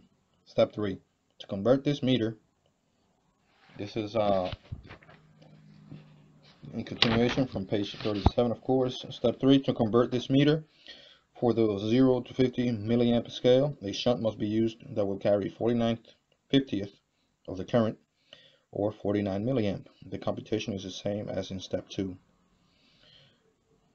The shunt resistor equals voltage divided current, which is uh, the same voltage, 0.1 volt, divided the current, which is 0.049 amp, and this equals to 0.04 ohms. Step 4, convert the meter for the 0 to 100 milliamp scale. A shunt must be used that will carry 99 of 100 of the current, or 99 milliamps. Uh, shunt current, excuse me, shunt resistance equals to voltage divided current 0.1 volts divided 0.099 amps equals to 1.01 ohms. A shunt with an ohmic ohmic value of 0.0, 0.0 excuse me 1.01 is required for the meter to safely use a 0 to 100 milliamp range. Looking again at, at, at figure 2-6, notice the switching device used to change the ranges of the meter at the bottom of the figure. The correct scale on the range dial must be used to correspond to the selected range. Caution, there are two important things to remember for the safety of your ammeter. First, an ammeter must always be connected in series with a circuit device or the power supply. Never connect an ammeter in parallel with the power supply or circuit devices. Figure 2-8, as you can see, through the meter shunt calculations, the applied voltage to the meter movement coil only required 0.1 volt for full-scale deflection. If a voltage greater than 0.1 is used, it will cause excessive current to flow through the coil. This will result in damage to the coil. To make series connection usually to make series connection usually requires breaking the circuit open or disconnecting a device in order to insert the meter. This allows the current to flow through the meter. The second thing to remember is when current when the current value you are testing is unknown, start at the highest meter range. This way you will not exceed the highest value of the meter scale during reading the circuit, reading of a circuit. As you can see in figure 2-8, the wrong way to connect a ammeter is shown first. The right way in series is shown second. Connecting an ammeter. And some review questions. An ammeter is used to measure current. In order to measure larger current, a shunt or alternate path is provided for the current. An ammeter should always be connected in series with the load.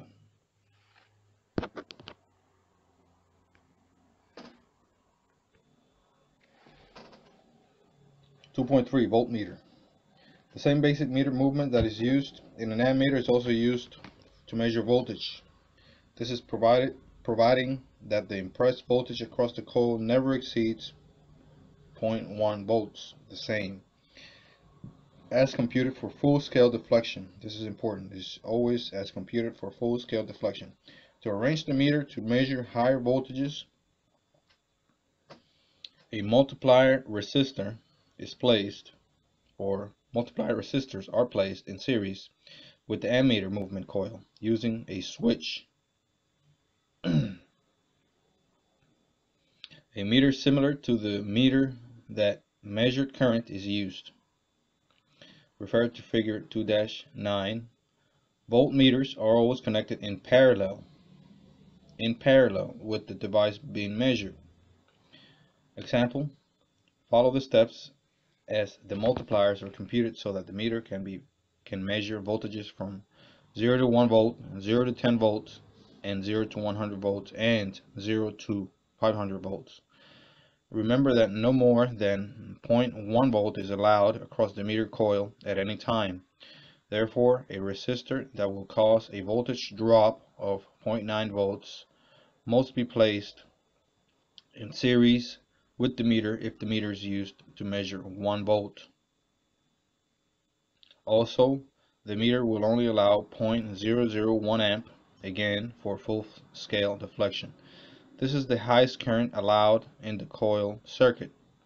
The multiplier resistor must produce a 0.9 volt drop in this case when a 0.001 amp flows through it. So the multiplier resistor calculation is multiplier resistor equals uh, voltage divided current, again Ohm's law. So in this case, the multiplier resistor equals 0.9 volts divided 0.001 amp and the multiplier resistor equals to 900 ohms when you calculate that.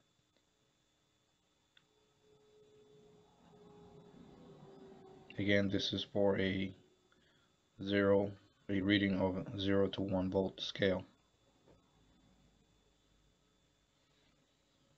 Step 2 to convert 0, 0 to 10 volt range, a resistor must be selected to produce a 9.9 volt drop. So the resistor uh, multiplier equals to, using Ohm's law, equals to 9.9 volts divided 0.001 amp, which is equal to 9,900 ohms. To convert, step 3, to convert 0 to 100 volt range, a resistor must be selected to produce a 99.9 volt drop. 99.9 volts comes from one uh, 9 tenths or 99 one hundredths of 100 volts which is the, the maximum range and 9 99 over 100 from a hundred or 99 one hundredths of 100 is 99.9 which is the volt drop voltage drop required from the resistor multiplier. So using Ohm's law again the resistor multiplier equals to 99.9 volts divided 0.001 amp or 99,000 ohms.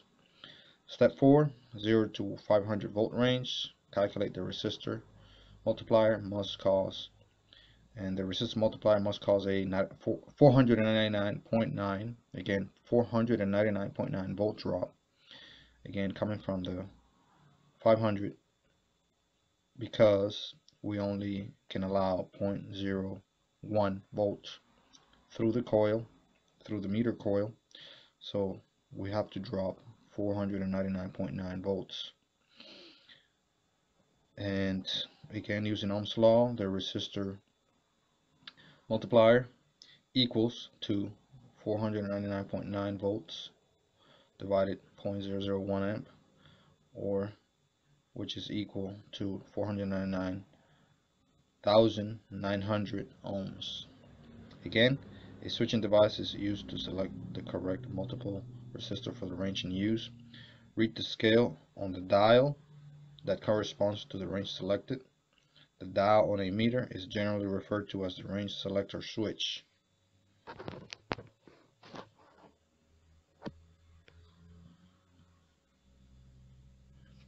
Figure, figure 2-9 on page 39. Step 1, this the multiplier causes an IR drop or current resistance drop or of 0.9 volts. Step 2, the multiplier causes an IR drop of 9.9 volts. 9.9 volts. Step 3, the multiplier causes an IR drop of 99.9 volts. And step 4, the multiplier causes an IR drop of 49, 499.9 volts. Bottom, the basic setup of a voltmeter switch is added to select the range.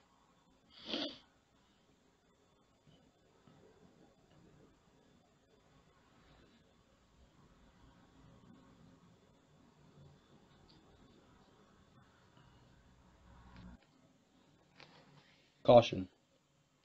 A voltmeter is always connected in parallel or across the circuit. To measure a voltage, the circuit does not have to be broken. See figure 2-10, page 40. As with the ammeter, when measuring an unknown voltage, always start measuring at the meter with the meter set on its highest range. Adjust downward to the proper range to avoid damage, damaging the meter. In addition, be sure that the leads are connected with the correct, correct polarity the black lead is negative and the red lead is positive. Figure 2-10, a voltmeter is connected in parallel with the device when taking voltage reading. Voltmeter sensitivity. The sensitivity of a voltmeter is a sign of quality. Ohms per volt is the unit of measuring sensitivity. In step 4 of the previous example, the total resistance of the meter and its multiplier resistance is 499,900 ohms for the multi, uh, multiplier resistor plus 100 ohms which is the meter resistance so the total resistance is 500,000 ohms.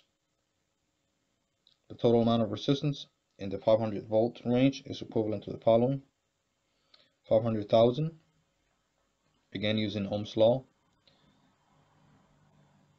500,000 ohms divided 500 volts equals 100 ohms per volt. That's just a simple division to know how many ohms per volts divide ohms by the volts it gives you 100 ohms per volt using Ohm's law I equals E divided R or current equals voltage divided resistance the reciprocal of I equals resistance divided voltage. So this is the same as the meter, meter sensitivity. Therefore, the sensitivity is equal to the reciprocal of the current required for full-scale deflection.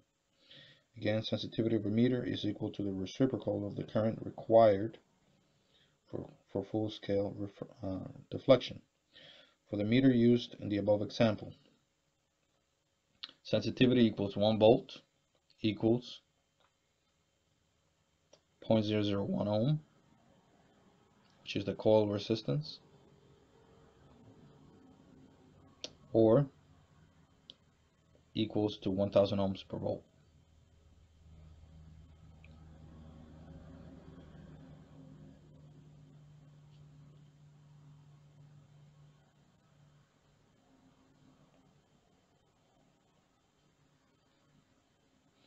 The sensitivity of a meter can be used to gauge the meter quality. A meter that has a quality meter has sensitivity of at least 20,000 ohms per volt. Precision laboratory meters measure as high as 200,000 ohms per volt. Accuracy of the meter is commonly expressed as a percentage, such as 1%. That means that the true value will remain will be within 1% of the scale reading. Another system of rating meters is the accuracy expressed as a percentage of full scale reading. A meter may have a rating of more or less 0.05% or less. In general, the smaller the percentage, the higher the quality of the meter.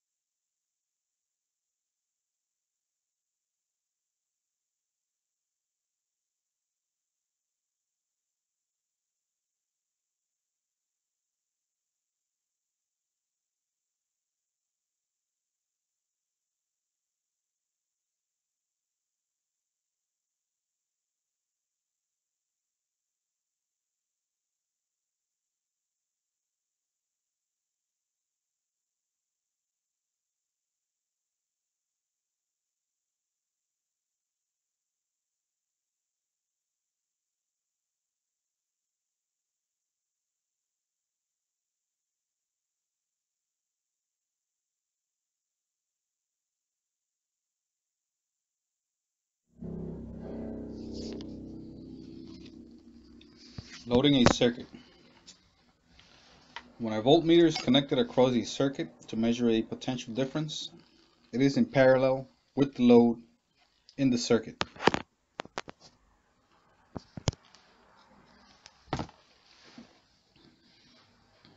Again, when a voltmeter is connected across a circuit to measure the potential difference, it is in parallel with the load in the circuit. This situation can introduce errors in voltage measurement in meters with low sensitivity, this is very common. It is very important to keep in mind this in mind. In figure 2-11, two 10,000 ohm resistors form a voltage divider circuit across the 10 volt source. The voltage drops across R1 and R2 are 5 volts each. If a meter with a sensitivity of 1000 volts 1000 ohms per volt on the 10 volt range is used to measure the voltage across R1, the meter resistance will be in parallel with R1. Solving parallel circuits is explained in depth in, in chapter 7. For now it is enough to know that the addition of this meter cuts the effective resistance of R1 in half. The combined resistance of the meter and R1 is equal to R1 plus RM or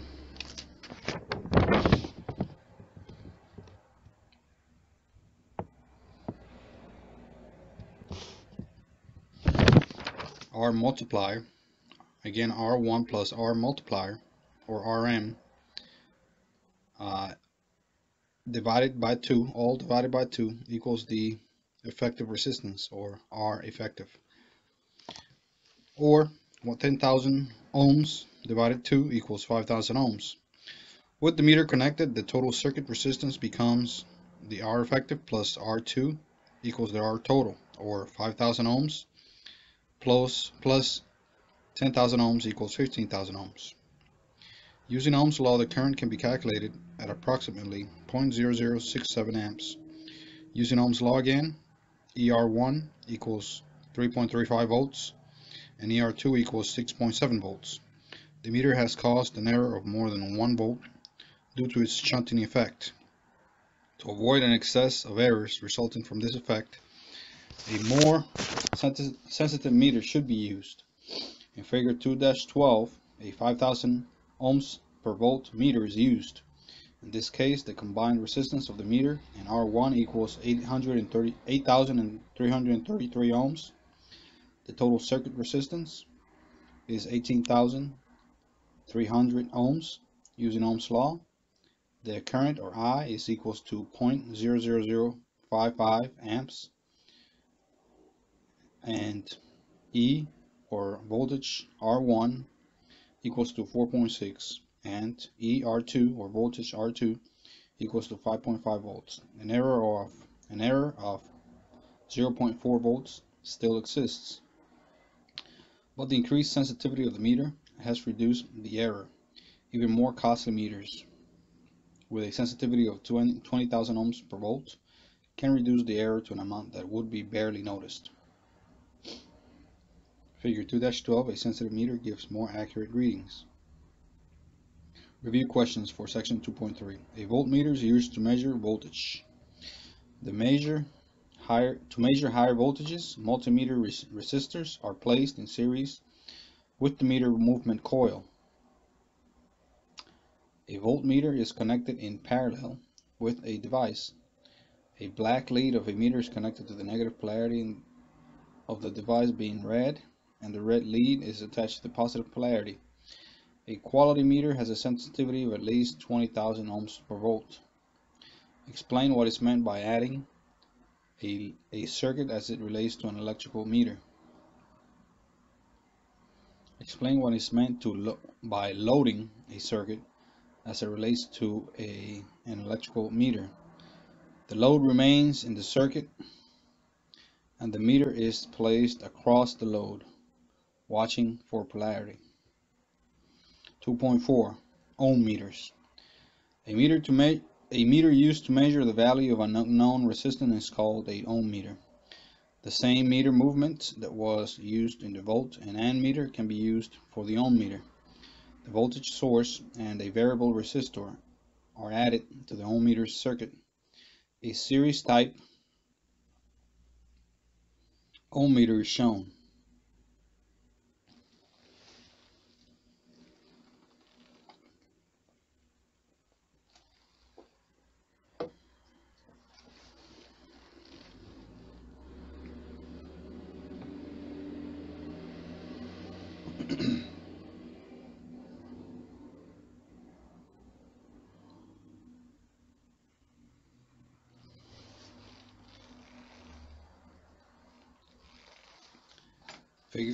Figure, figure 2-13 schematic diagram of a series ohm meter. A 3 volt battery is used as the source for the ohm meter. The battery is built into the meter case. The, the meter movement permits only 0.1 volt for a current of 0.001 amps for full scale deflection. Therefore, a, multi, a multiplier resistor is placed in series with the meter coil to reduce the voltage applied to the meter coil. So resistance resistance M or Rm equals to voltage divided current.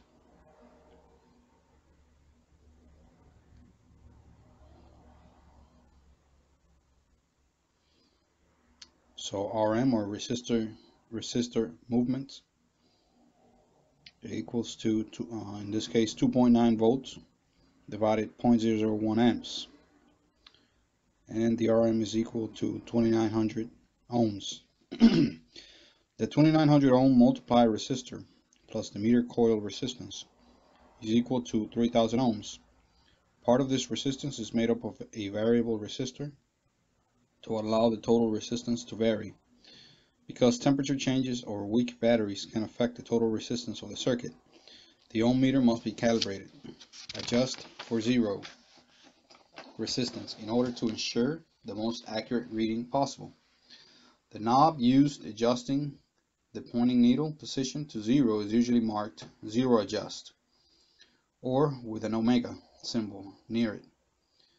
To use the ohm meter, first short, short the test leads together. This applies a 0 ohms across the meter. Adjust the ohms adjustment knob until the needle points at 0. The needle should deflect from its position at rest on the left to the 0 resistance indication on the right side of the scale. If the needle does not deflect, it is possible that the battery is dead or extremely weak. After the ohm meter has been calibrated to read 0 ohms, when the leads are shorted, you can make a reading of an unknown resistance by placing the unknown resistance between the test leads. Caution. Before connecting an ohm meter to an electrical circuit to read an unknown value, be sure that the circuit is not energized. An energized circuit will damage the meter and can be harmful to you. Electrical energy in a circuit is not needed to operate the meter movement coil, and it is and as it is as it is when using the voltmeter or ammeter. The batteries inside the, the case provide the source of power for the ohm meter. Connecting the ohm meter to an energized circuit will apply the circuit voltage directly to the coil and battery, which can result in damage to the meter and, possi and possible harm to you. A shunt ohm meter is connected as shown in figure 2-14. In this circuit, the unknown resistance, or Rx, is shunted or connected in parallel across the meter. Low values of Rx cause lower currents through the meter.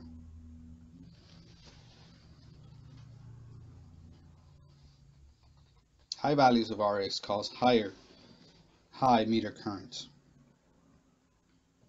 When the ohm meter is connected in the shunt position, the indicating needle deflects from left to right in the manner of the ammeter and voltmeter. Zero resistance is on the left. The scale increases from left to right. Figure 2-14 schematic diagram of a shunt ohm meter. Note that the meter reads in the opposite direction of other ohm meters.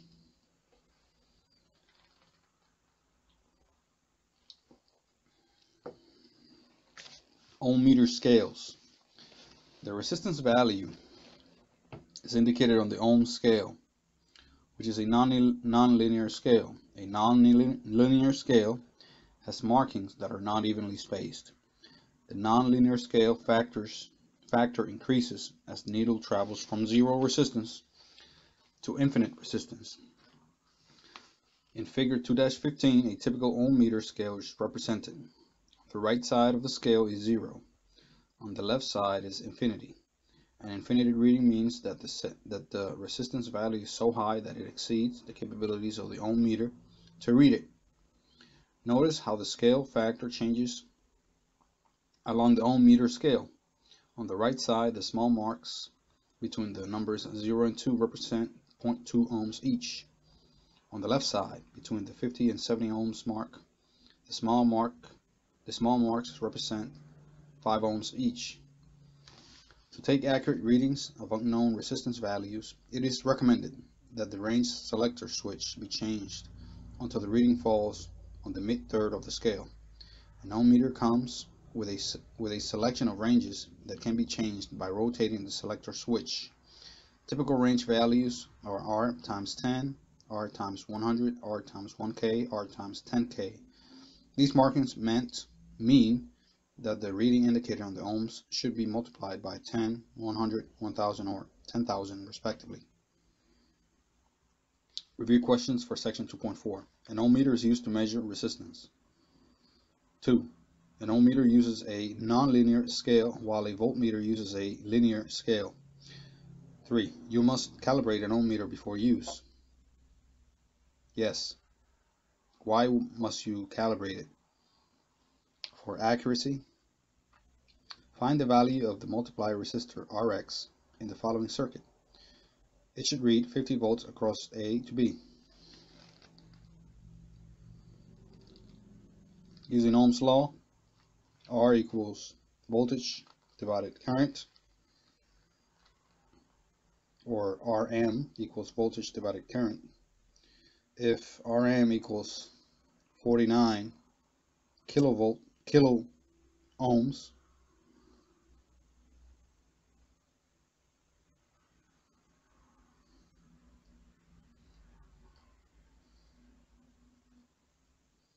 if RA, Rm equals 49.9 volts divided, we know the voltage, which is 49.9 volts, and we know the current for full deflection.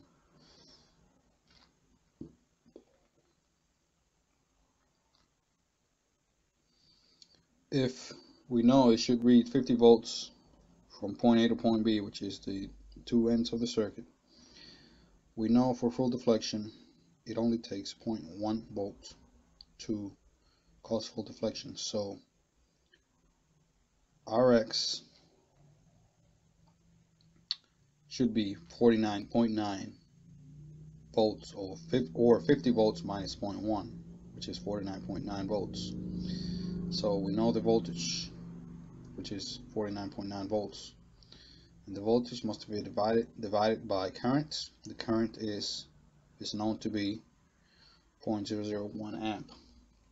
So divide 49.9 volts by 0.001 amp, we get 49,900 ohms, which is the answer.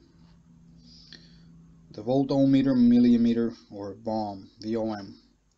A common and simple multimeter used in electronic circuits is the volt ohm meter, or VOM. A VOM is a voltmeter, ammeter, and the ohm meter all in one. The VOM has the advantages of being inexpensive and portable. It does, however, usually have a low input resistance in ohms per volt on the lowest voltage range. This factor can cause accuracy problems. When an electronic device called a field effect transistor was developed, a VOM was designed to overcome the low input impedance problem. The field effect transistor, transistor or VOM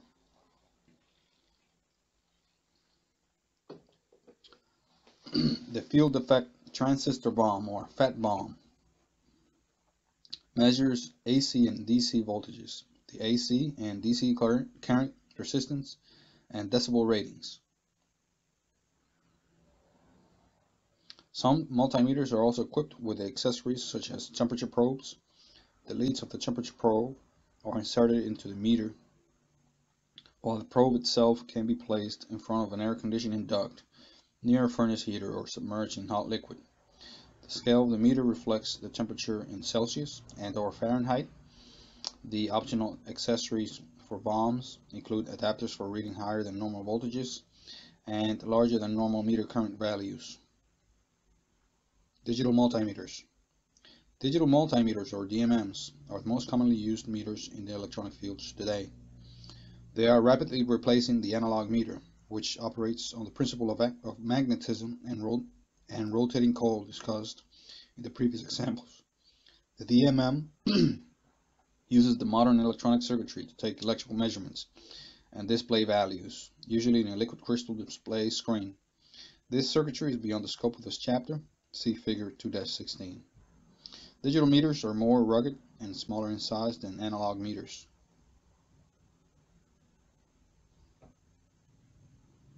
They also are very accurate and very portable.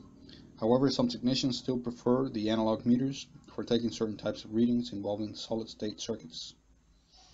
This will be explained in more depth when solid-state electronic devices are explored. The liquid crystal display shows the meter reading in digits rather than on a scale.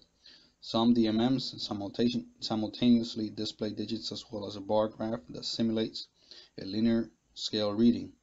Figure 2-17 Digital meters are not only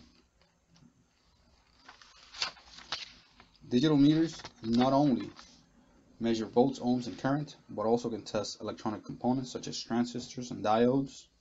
Figure 2-18, the, di the digital multimeter can come with a rotary dial, like the analog meter, to select functions, or a keypad that is pressed with the fingertips. Most digital meters use an interna international standard of label labels to indicate vari various meter functions, such as AC and DC, combination of symbols. Figure 2-19, the graphic symbols for AC and DC are often combined with metric prefixes to identify the function or range of the meter setting.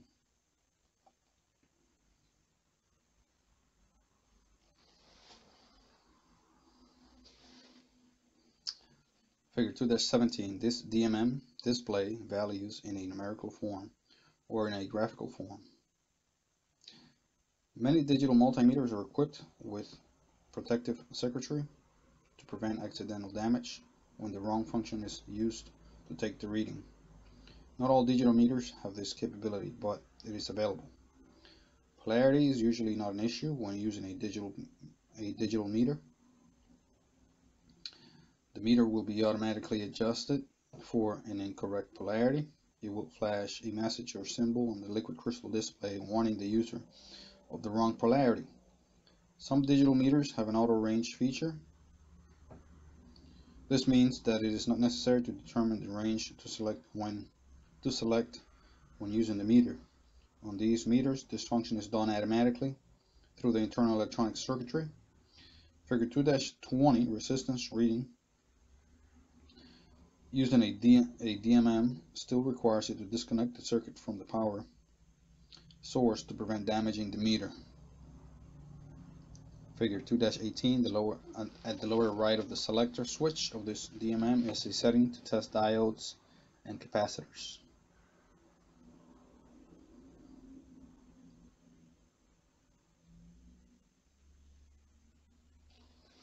Figure 2-19, the international graphic symbols for AC and DC combined with, combined with other electrical prefix symbols to indicate a meter setting computer display meters.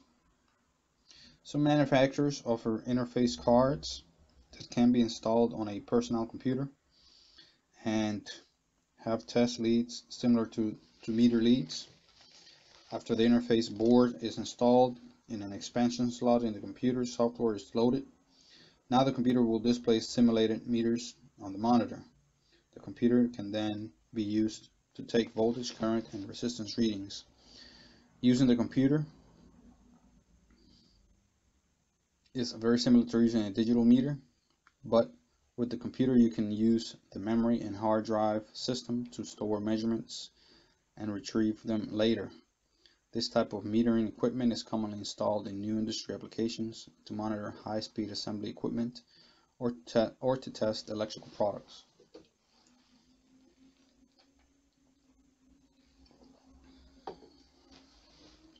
AC meter readings.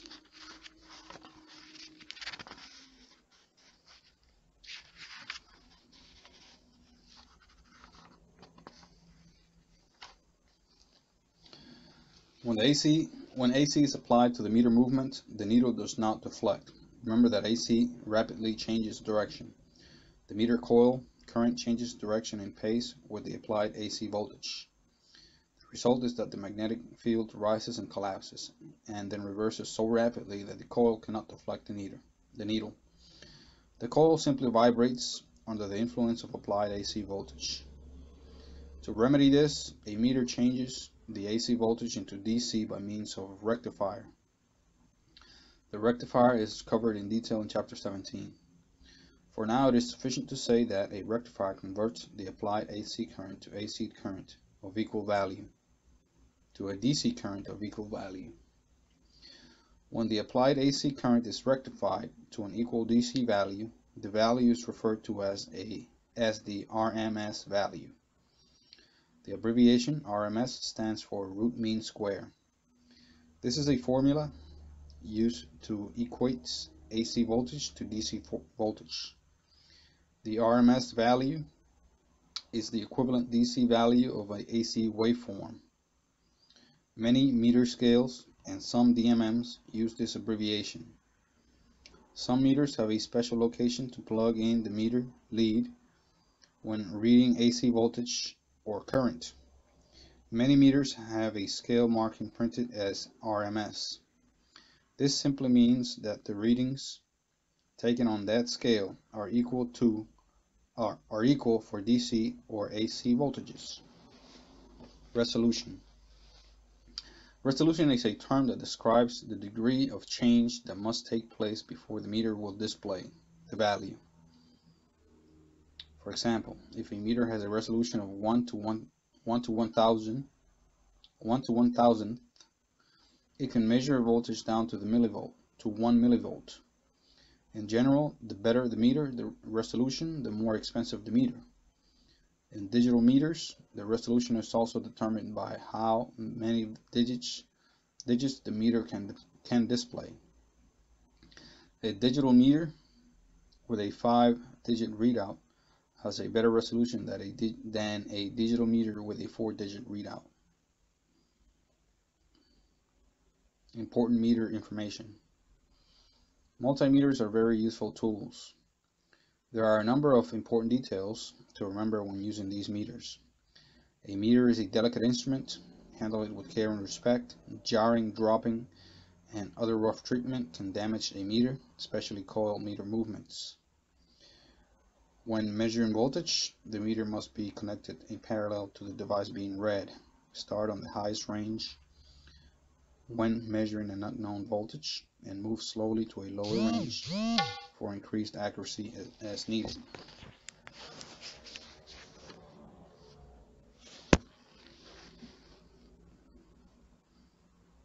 Remember to observe correct polarity. The red or positive lead goes to the positive side of the circuit. The black or negative lead goes to the negative side of the circuit. When measuring currents, an ammeter must be connected in series with the, series with the circuit. A wire must be disconnected to insert the meter. It is wise to make a rough current calculation using Ohm's law to determine the proper current range on the meter. When troubleshooting a circuit, it is best to start on the highest possible setting a faulty component can cause higher currents that could that would be normally that would not be normally expected. Again, observe correct polarity, red to the positive side of the circuit and black to the negative side of the circuit. When measuring resistance, be certain not to power be certain that no power is applied to the circuit. It is best to disconnect the voltage source before taking any resistance measurements. In general, it is not necessary to observe polarity when taking resistance measurements. However, as you advance through your studies, polarity must be observed when checking certain solid-state devices. Always adjust and zero the meter on proper range before measurements are made. The ohm meter should be readjusted after changing, changing ranges or after prolonged use. An open circuit will have an infinite reading. On all meter measurements, make a flash check before permanently connecting the meter to the circuit. What does a flash check means? First, a decision should be made on how to connect the meter to the circuit. Then the only then only the negative lead should be connected with the positive meter left disconnected while observing the meter. Quickly touch and remove the positive lead to the circuit. Did the, did the needle move in the wrong direction? If so, polarity must be changed. Did the needle move too violently? If so, the meter range selector should be changed to a higher range. Remember, you should start on the highest range when you're not positive on the voltage or current values. The flash check will save you many dollars in meter replacement and repairs as well as wasted time. A meter has its greatest accuracy at two-thirds deflection of the meter scale. Use the range that reads as close to this deflection as possible. Often electronic circuits are quite compact. Be sure to test leads. Be sure that the test leads do not cross over or more two or more connection points, as this could result in a short circuit. Be sure that the test leads are in good working condition. There should be no frayed or bare wiring. Make it a habit to keep your fingers from touching any exposed metal part of the test lead, lead tips and or the circuits being tested. Most of the time you'll be working with voltages that are harmless, but sooner or later you'll be working with circuits that can produce severe or fatal sh shocks. The habits you develop while testing low voltage circuits will be carried with you when you're working with higher voltages. Make a habit of testing circuits safely when danger voltages are present. Do not make the common mistake of connecting the meter to a voltage source without first changing the selector mode switch after checking resistance or, or amperage. In addition to some meters, in addition some meters have a separate input for the test leads when in the current mode, especially when high currents are to be measured. You may have selected the correct mode of operation using the selector switch, but left the test lead plugged into the wrong meter jack. It is very important not to attempt reading from the back of a television picture tube or a computer monitor. There are extremely high voltages present in these locations and the meter usually requires special high voltage test leads specifically designed for this purpose. Caution. When using a multimeter or DMM, it is easy to connect the meter to a voltage source immediately after taking resistance or current readings.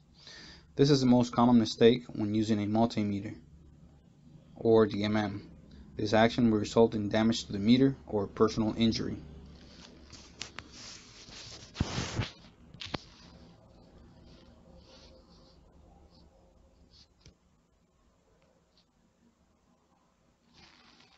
Electric shock. Almost all electrical systems contain a ground. A ground provides a safe path for an electrical fault and has a zero volt potential. It is typically constructed by connecting a conductor between the between one of the electrical system conductors and the earth. On AC systems, the neutral conductor is grounded. On DC systems, the negative conductor is grounded. Some electrical systems do not connect directly to earth. Instead, the metal enclosures or metal conduits serve as a ground or as a return path to current for current. If a person touches an energized conductor, that person can easily serve as the path to ground. As shown in figure 2-21, an experienced electric and experience electric shock. Also, if a system experiences an electrical fault, the metal enclosure or conduit may have a higher voltage potential than the earth ground. Thus, a person touch a person touching the enclosure or conductor can experience electric shock. Some devices are double insulated, which means the outside enclosure is not grounded. A person using the device will not be in contact with the ground circuit by using the device and thus will most likely not experience electric shock should a ground fault occur. Figure 2-21, when a person touches an energized conductor, his or her body completes a circuit to ground. Electric shock levels. A person can experience different levels of electric shock. These are rated by value of current flow and the effect of each current value uh, and the effect each current value has on the human body. The values of current flow and their effects are listed in the following table. Current 1 milliamp is barely notable, noticeable. That's the effect. The current of 5 milliamps is the highest harmless value, but can be painful. From 10 to 20 milliamps is there can be sustained muscle con contraction. The victim cannot let go. And from 100 to 300 milliamps, paralysis of respiratory muscles can be fatal. Severe internal, internal and external burns and can result in organ damage.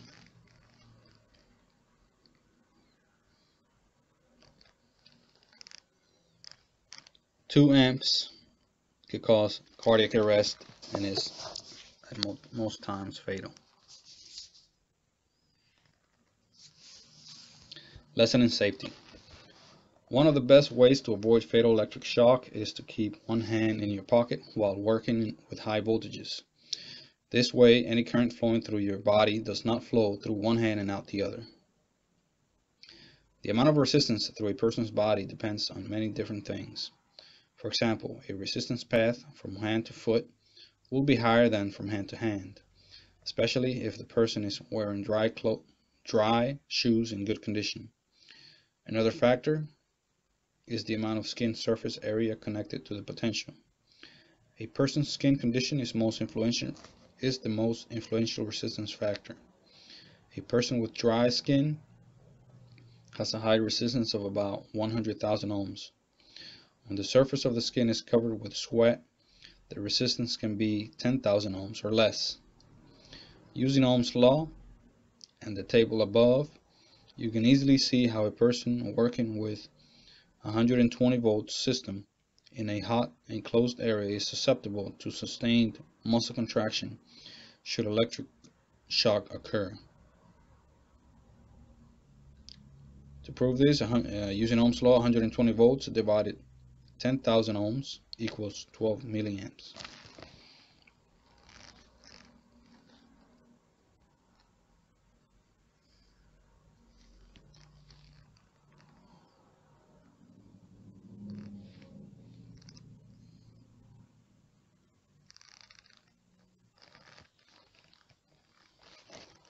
The National Electric Code, or NEC, requires all electrical systems of 50 volts or higher to be grounded. This rule is to protect people from electrocution when they come into contact with components in an electrical system. A properly grounded electrical device will, will produce a low resistance path for current. When the properly grounded device comes into contact with an energized conductor, the fuse or, the fuse or breaker will automatically trip or open the circuit.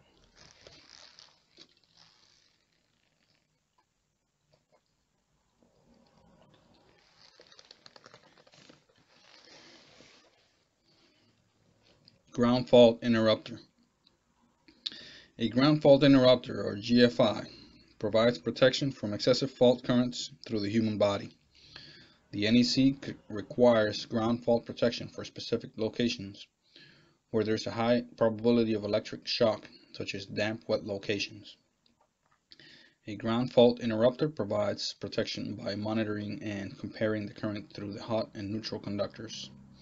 A complete circuit has the same current in the hot and neutral conductors.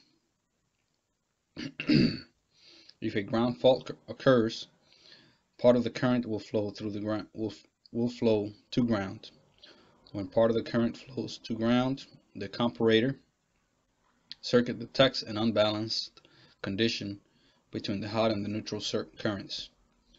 If the difference between the hot and the neutral conductor exceeds 5 milliamps, the, the comparator circuit will energize the trip coil and cause a contact to open in the hot conduct conductor circuit circuit. This stops the flow of current through the through both the outlet and the person holding a device that is plugged into the outlet. The electric shock is stopped almost in instantaneously. After the GFI is tripped, the red reset button needs to be pressed to reset the GFI trip mechanism once more. The figure, see figure 2-22. Be aware of a condition known as the nuisance, nuisance trip, which occurs when there is excessive moisture in the device area. Ground fault protection devices are not limited to power outlet designs. They are commonly incorporated in GFI style circuit breakers. Non-GFI power outlets can be used with single GFI type breakers. The non-GFI power outlet will then provide the same protection as a GFI outlet provides. This is a very cost-effective solution when several outlets are required to be GFI type. Cardiopulmonary resuscitation, CPR. When working with electrical systems, there are always there is always a real danger of electrocution. The heart may stop beating because of the electric shock. Cardiopulmonary cardiopulmonary resuscitation or CPR is an emergency technique consisting of mouth-to-mouth -mouth resuscitation and a series of chest compressions. The basics of CPR will be covered in this section, but you should take a CPR course from a certified instructor to be com competent to administer CPR.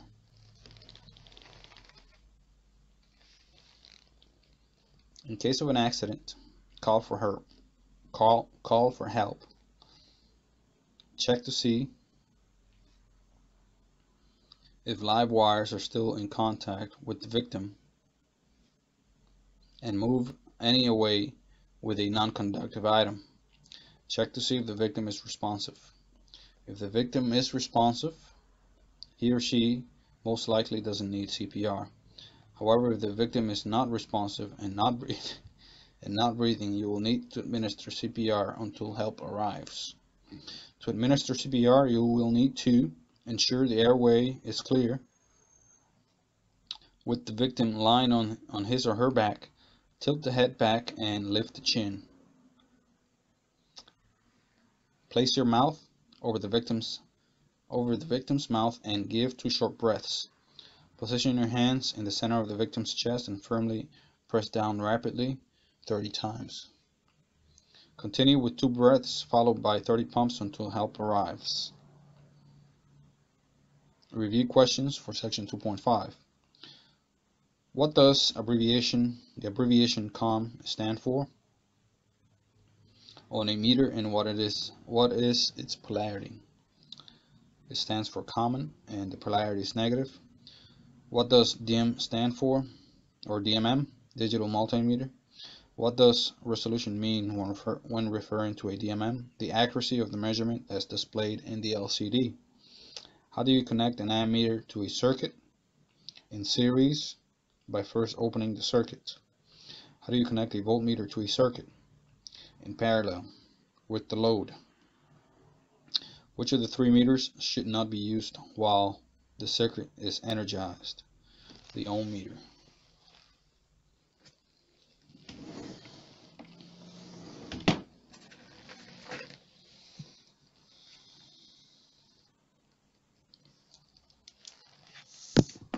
2.6 Electrical diagrams.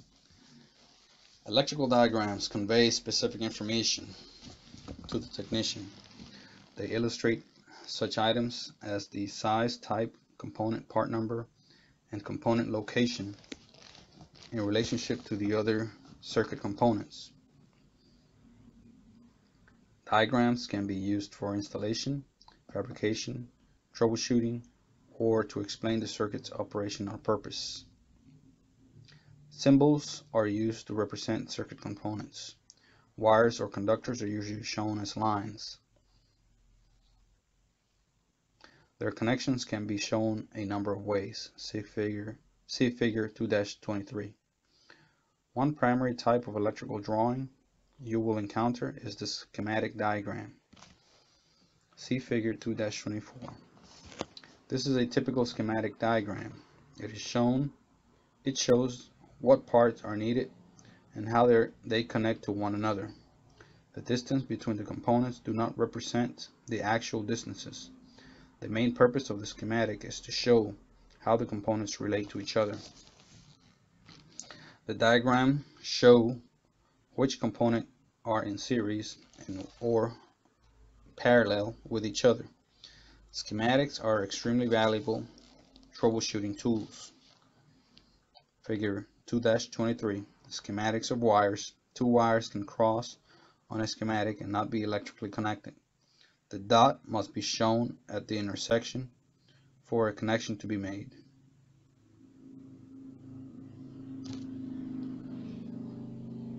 Figure 2-24, a typical schematic illustrates the, the location of the components and how they relate to one another.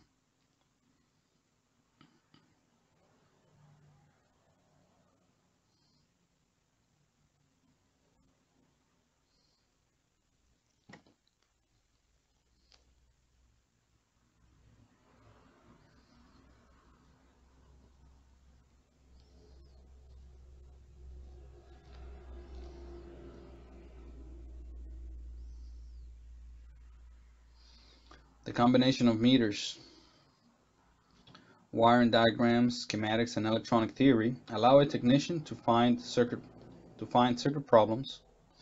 Many circuits are impossible to troubleshoot without the aid of schematics and the application of electronic theory. In figure 2-25 is a comparison of an elementary line diagram and a wiring diagram. This illustration shows the operation of a typical stop-start motor control system. The elementary line di diagram on the left is similar to this to a schematic. It is used primarily in industrial processes to illustrate how a system's electrical controls relate to each other. On the right is the actual is the actual wiring diagram.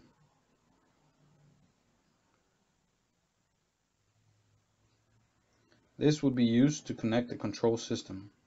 The elementary diagram clearly illustrates how the circuit operates, while the wiring, while the wiring diagram illustrates the relative positions of the connection points and the components as they would actually be found in the equipment.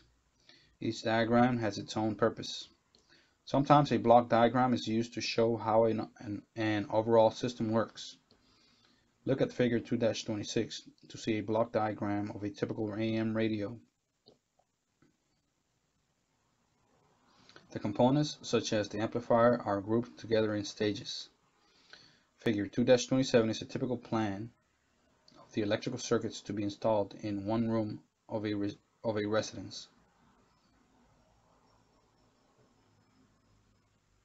Figure 2-25, both the elementary line diagram and the wiring diagram shown here are of the same electrical system, but they are presented in two different ways. The elementary line diagram is used to clearly express how the circuit works. The wiring diagram is used to install the system. In figure 2-26, a block diagram is used to illustrate how major electrical systems relate to each other. Figure 2-27, typical layout of a residential room to be wired by an electrician. All information necessary to correctly wire the room is indicated on the plan or print.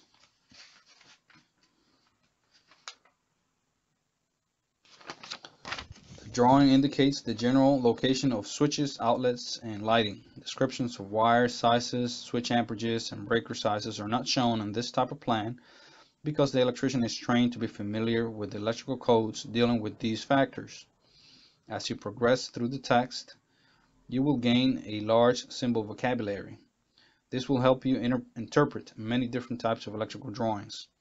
This vocabulary combined with a complete understanding of schematics and meters, will help you troubleshoot, repair, and construct any electrical systems rapidly. When constructing an electrical system, you may find using a circuit design software program beneficial. Circuit designers rely heavily on computers and software for modern electronic circuit design. See figure 2-28. In these software programs, components can be selected from menus and placed on the drawing area.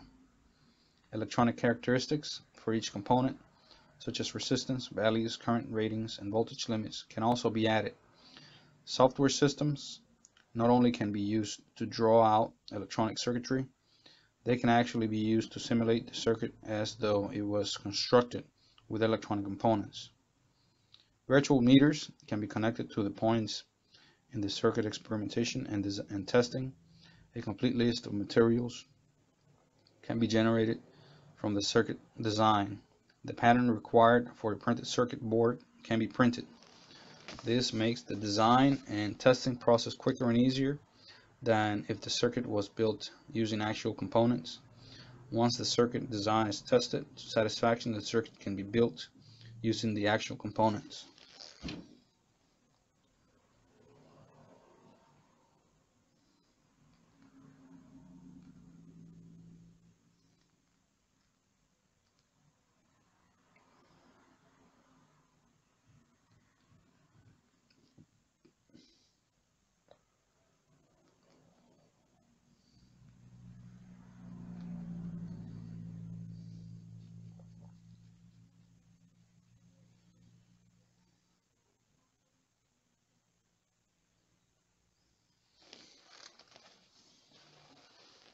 Review questions for section 2.6. What is a schematic? It is a drawing that can show an electrical circuit for building, operation, or troubleshooting. What are the symbols used for?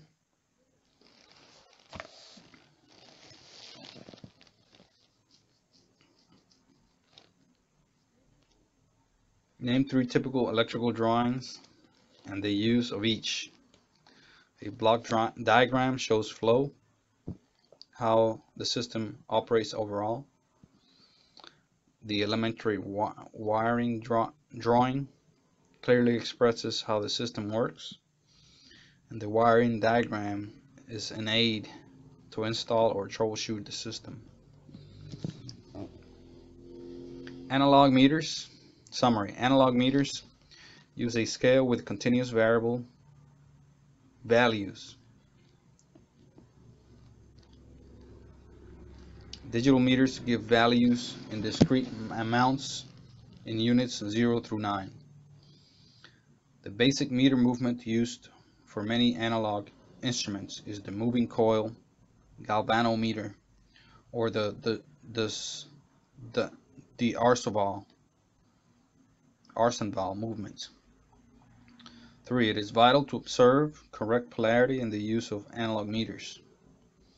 4. Linear meter scales have evenly spaced marks. Ammeters and voltmeters use linear scales.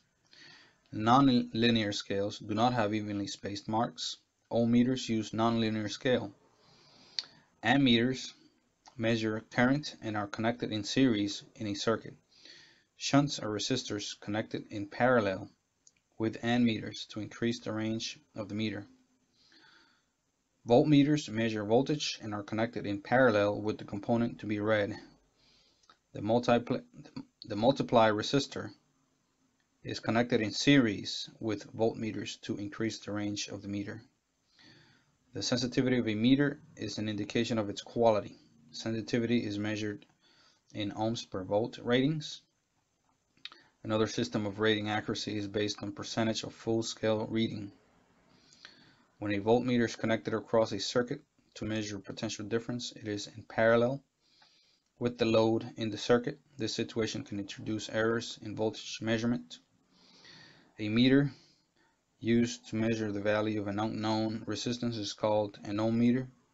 Ohm meters are connected across the resistance being measured a multimeter is one instrument that will measure a number of different types of values, such as current, voltage, and resistance. Digital meters are rugged, small in size, accurate, and portable. There are a number of different types of electrical diagrams. They include schematics, wiring diagrams, line diagrams, and block diagrams.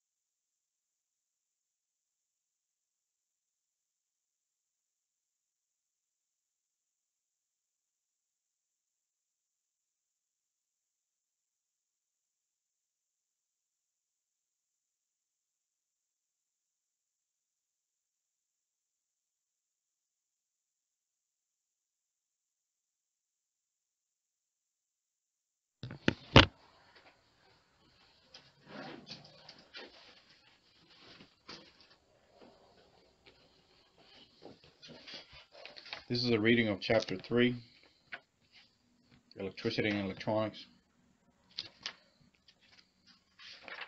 Chapter is titled Introduction to Basic Electrical Circuit Materials. All electricity and electronics is based on the fundamental concept of moving electrons through some type of material and then applying electrons to a load. At the load, the electrical energy is transformed into another form of energy, such as heat, light, magnetism. In this chapter, we shall explore methods to control the flow of electrons using common devices and materials. In addition, we will explore the conversion of electrical energy for some uses, such as lighting. Conductors. Conductors are the pathway that allow electrons to flow through an electrical circuit. Conductors can be made of various shapes and sizes. They can be made from a number of different materials. The most common conductor you will encounter is copper wiring. Copper is an excellent conductor and can be formed into many different shapes. Copper comes in round, square, stranded, solid, flat ribbon, and bar shaped shapes. Each shape has its own unique quality qualities that make it best for use in some specific application. Conductors vary depending on the type of material from which they are made. Copper is an excellent conductor. Silver an even better conductor. However, silver is too expensive to be used in common circuits. Many high voltage lines are made from aluminum because it is lightweight. And they have a center core made of stranded steel for added strength. Brass is used for electrical mechanical equipment such as switch parts because of its strength and conductive properties. The actual conduction of electricity is done by transferring electrons from one atom to the next atom in the conductor. Assume that a piece of copper wire is neutral. If an electron is forced into one, of, eh, one, one end of the wire, then an electron will also be forced out of the other end. The original electron did not flow through the conductor. Yet, the energy was transferred by the interaction between the electrons in the conductor. The actual transfer of electrical energy occurs at an amazing speed. The speed has been accurately measured, and it approaches the speed of light, or 186 miles per second. In metric terms, it is 300,000 kilometers per second. The unit for measuring the conductance is the Siemens. This unit was, was named after the German inventor Ernst von Siemens, who did a great deal of work in the development of telegraphy use. The abbreviation for the Siemens is the capital S. The unit formula for computing electrical conductance is as follows. G equals 1 over R, For G is conductance in Siemens, and R is resistance in, ohm, in ohms. The, conduct the conductance of a material is the reciprocal of the resistance of the material. Lesson in safety. Your body is a good conductor of electricity. Never touch a circuit conductor or component unless you're sure that it is not energized. An electric current flow an electric current flowing in one hand across your chest and heart and out the other hand is dangerous and can be fatal. The smart technician uses only one hand when working on high voltage circuits or live voltage circuits. The other hand is kept in a pocket. Technicians who work on high voltage lines work in insulated bucket trucks or on insulated platforms. Standing on a rubber mat while working on electrical systems is a standard safety and a wise practice. While the technician is standing on an insulated material, there is no direct path to ground in case of an accidental contact with a conductor. Conductor sizes. Conductors are sized by the cross-sectional area. The amount of cross-sectional area of a conductor has, has been determined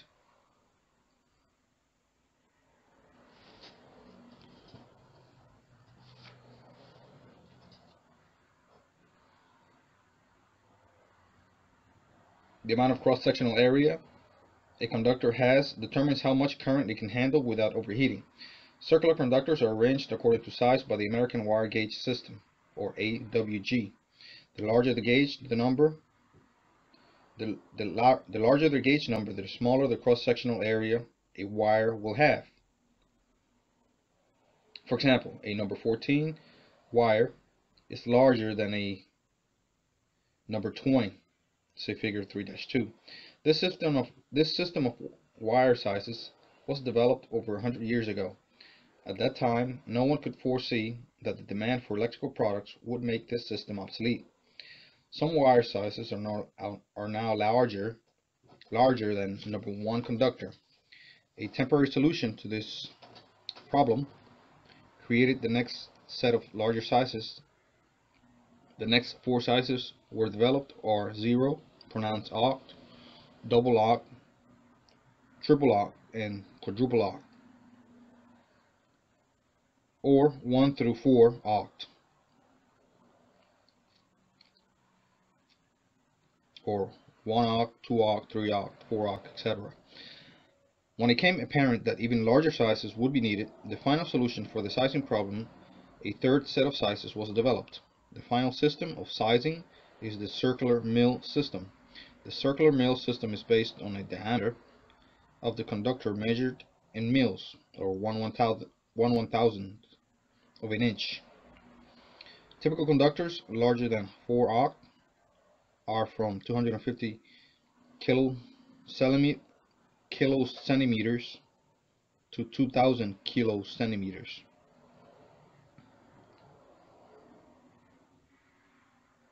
Excuse me, 250 kilo C-mils or KCMs to 2000 kilo C-mils or 2000 KCMs. The letter KCM represents 1000 circular mils.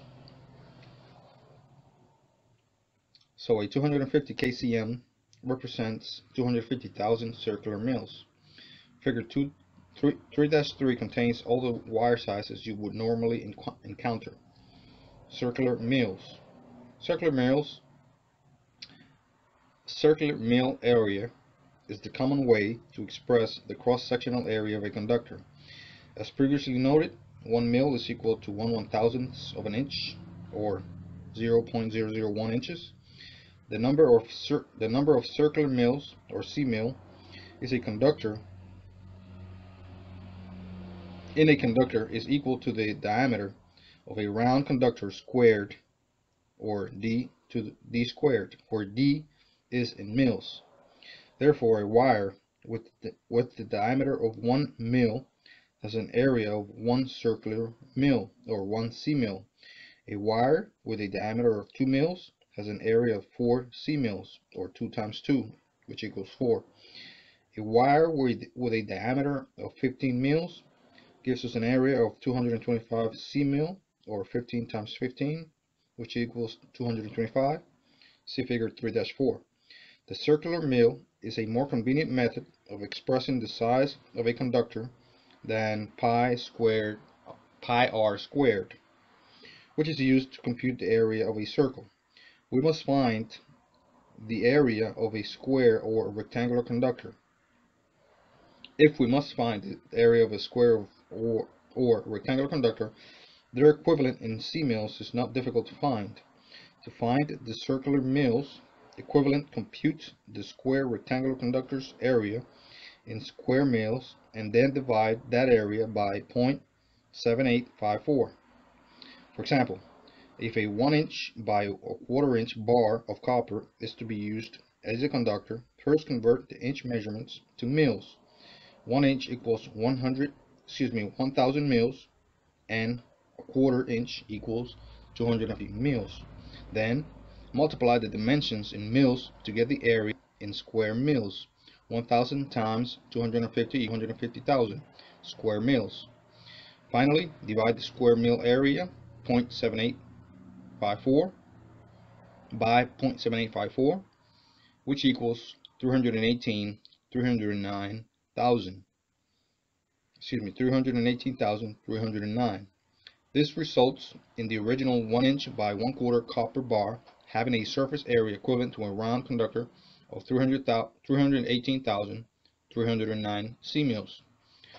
Wire charts commonly express the electrical values for conductors solely based on their size in mils.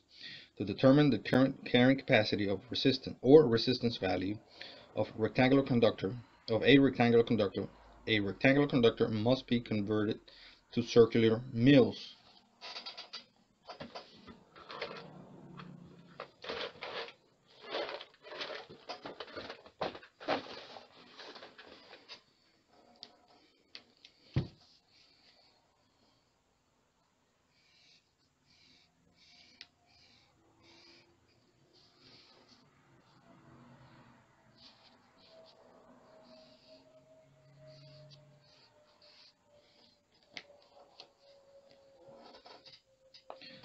Wire charts are commonly wire charts commonly express the electrical values for conductors solely based on their size in C mils. To determine the current capacity or resistance value of a rectangular conductor, the rectangular conductor must be converted to C mils.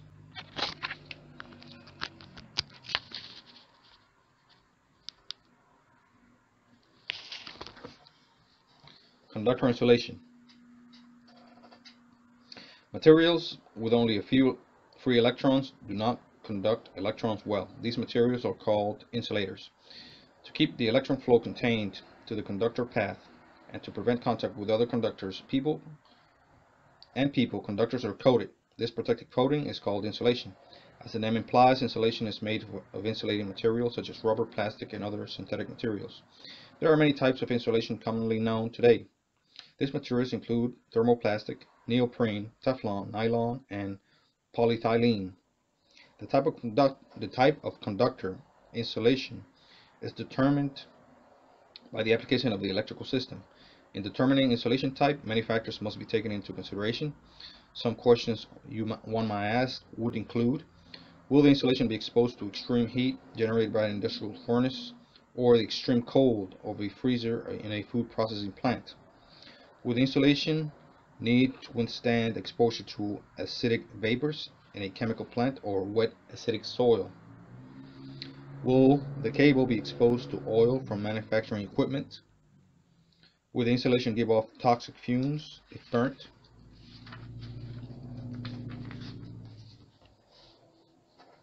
Will the insulation in a building affect the breathable air to its occupants? Ins insulation coatings. Insulations are marked with code letters indicating their approved uses. Examples of these markings are HH for high heat resistant, M for oil resistant, UF for underground installation, etc. When selecting conductor insulation, all conditions must be considered. A brief list follows. R for rubber, H for heat, HH for high heat, A for asbestos, T for thermoplastic, M for oil resistant, UF for underground feeder, and C for corrosion resistant. Conductor insulation may be color coded to assist technician in out a building throughout some other electrical applications such as an auto automobile. At times the colors represent certain volume, certain voltages, polarities, or grounding conductors. The color used is generally governed, governed by the building codes or manufacturing associations. Uniform standards in the color coding of insulators assist the technician in troubleshooting electrical and electronic systems. Types of conductors. Conductor, conductor wiring comes in many shapes and assemblies. See figure 3-5. The conductor can be solid or stranded. There can be one or more conductors inside one cable assembly. The insulation jacket sometimes contains a metallic sheath to provide added protection against physical damage or to prevent interference from other electrical systems.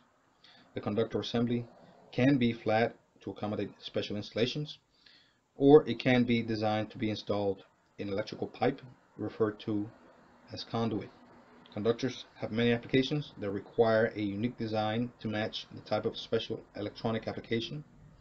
Some of these applications are telephone communication cables, cable television, computer lines, high voltage transmission cable, fiber optics, motor and relay windings, and marine applications. There are hundreds of types of conductors available today. Conductor resistance. Even though conductors provide a low resistance path for electron flow, they still have some resistance. This resistance must be considered when long distances are involved. There are four factors directly relating to the resistance of conductors. Cross-sectional area of the conductor. The larger the surface area or diameter of a conductor, the lower the resistance. The type of conductor material. Different materials have different resistance values. Length of the conductor. The longer the conductor, the greater the resistance. Temperature of material. Resistance of a material rises with rise in temperature. Cross-sectional area of a conductor. Increasing the cross-sectional area of a conductor increases the amount of current that can flow. To help visualize this, use the flow of water through a pipe as an example. Figure 3-6. A large diameter pipe can carry more gallons of water per minute than a small diameter pipe. An electric conductor operates in the same fashion. The larger diameter the conductor carries, more electrons per minute than a small diameter conductor. Types of material. As discussed in chapter 1, some materials are better conductors than others. The type of material affects conductance and resistance. Figure 3-7 shows, shows one example as number 12 copper wire has 1.619 ohms resistance per 1000 feet. An aluminum conductor of the same diameter and length offers 2.57 ohms of resistance. Length of conductor. The length of a conductor greatly affects its total resistance. If one foot of wire has a certain resistance, then 10 feet has the same of the same wire will have 10 times the resistance. 50 feet of the wire will have a 50 times more resistance, and so on. As a conductor becomes longer, it creates a voltage drop in a circuit. A circuit using short lengths of wire such, an, such as an electrical lab project using 3 to 6 inches of number, two number 22 wire does not create a major problem, but long runs of wiring can create electrical problems. In figure 3-8, a 10 amp, 10 amp load is connected to a circuit using number 22 copper wire. The load is at a distance of 100 feet from the source. When the switch to the motor is closed to connect the motor, the motor will heat up internally because an insufficient voltage is being applied. The low voltage is a result of the voltage drop along the, length, along the length of the conductor. The loss of voltage can be co computed using Ohm's law. Figure 3-8. The voltage drop caused by the resistance of 200 feet of number 22 copper conductor wire connected to a 10 amp load is to 32.9 volts or 16.5 volts for each 100 feet of conductor. The electrons must travel at a total distance of 200 feet to make a complete circuit. The total resistance of the wiring is equal to 3.29 ohms. The current through the load is 10 amps. By applying Ohm's law, these, to these conditions, a voltage drop equal to 32.9 volts has been created. E equals 10 E equals 10 amps times 3.9 ohms.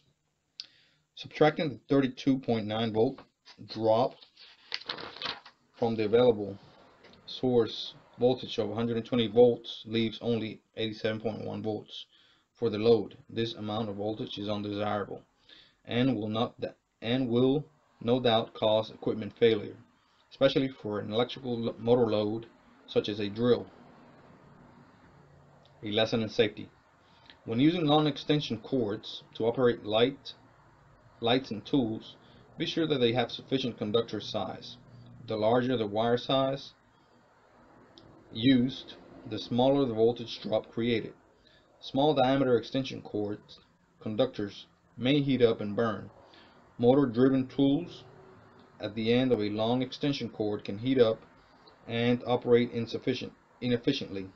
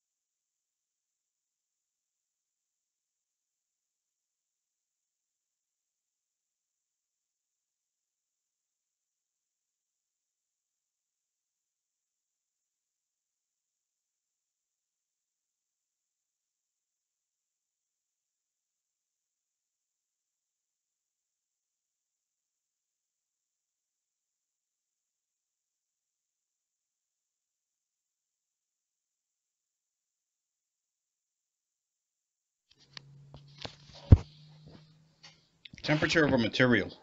A fourth consideration in conductivity is temperature. Most materials, most metals used in conductors such as copper and aluminum increase in resistance as the ambient temperature rises. Ambient temperature is the temperature of the material surrounding the conductor, such as air, water, or soil. In many electronic products, careful design is necessary to ensure proper ventilation and radiation of heat from the current carrying conductors. Many electrical products, such as computers, have a fan installed inside the appliance to circulate, circulate heat away from electronic components. These components can be damaged by heat easily. When many conductive materials are, are exposed to extremely low temperatures, their resistance value approaches zero. These materials become superconductors. Figure 3-9 is a picture of a superconducting cable.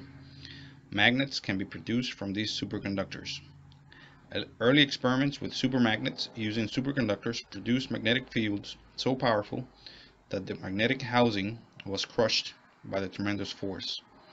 Since electrical motors operate on the principles of magnetism, the more powerful the magnet, the more powerful the electric motor will be.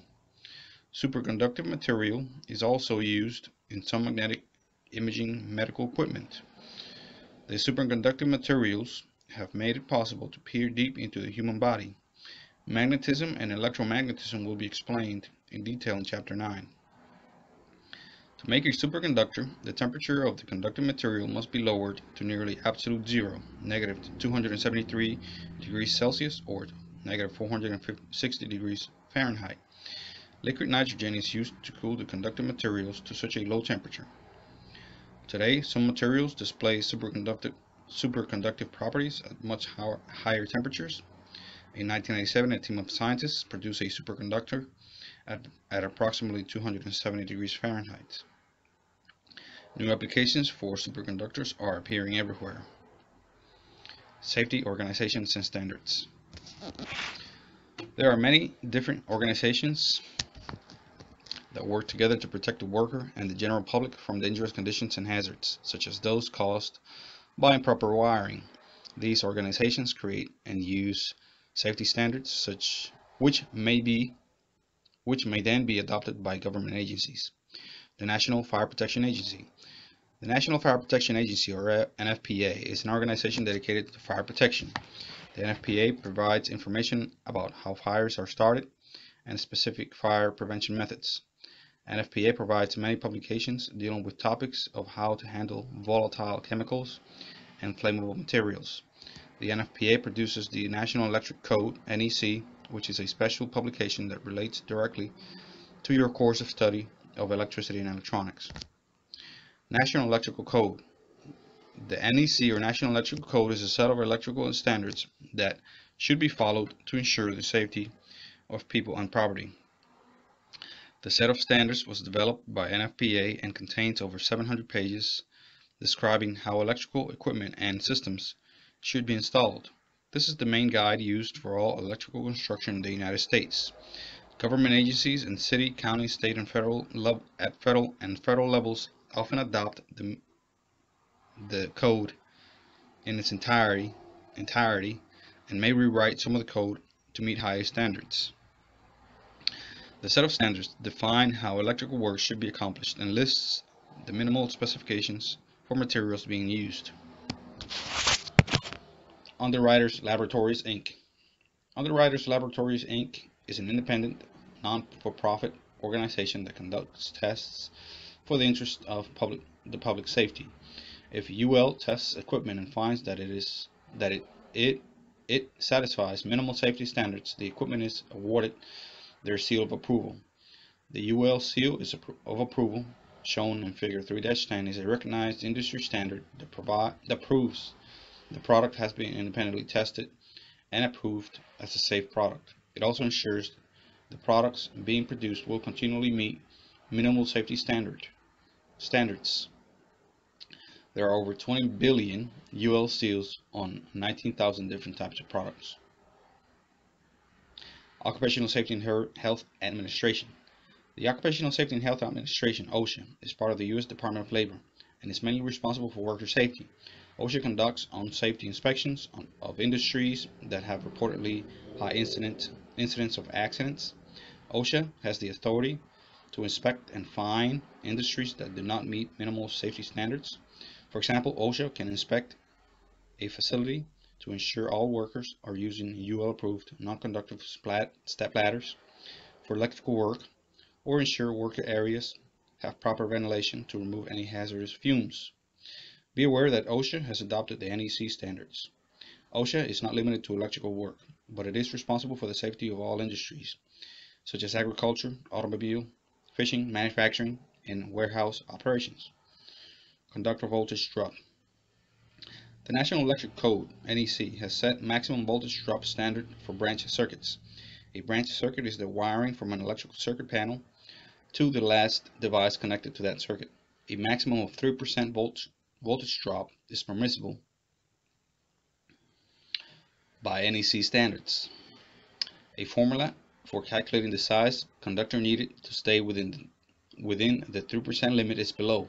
CMA equals K times I times L over VD, where CMA is the area of in circular mils, K is the material constant, I is the amperage, and L is the length of wire, and VD is the voltage drop. Example, First, decide the type of material to be used in wiring the circuit, copper or aluminum. The material constant, K for copper is 12. The material constant for aluminum is 18. This is an NEC standard based on the resistance of the material.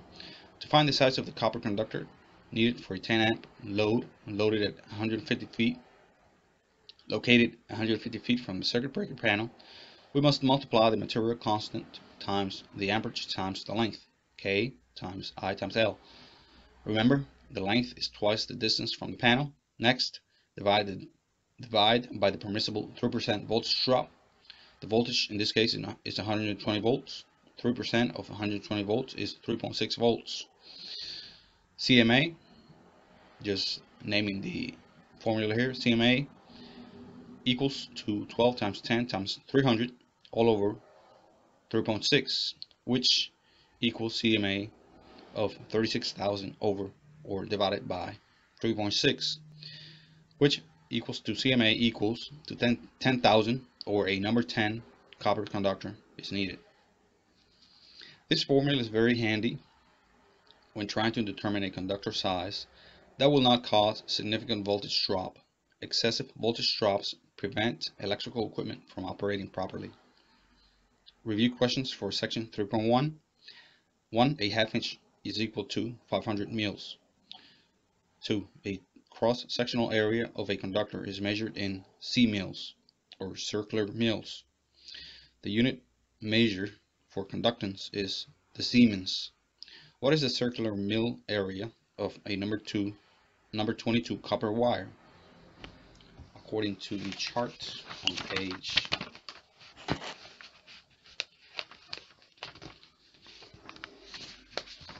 on page 55 it equals to number 22 copper wire equals to 10 22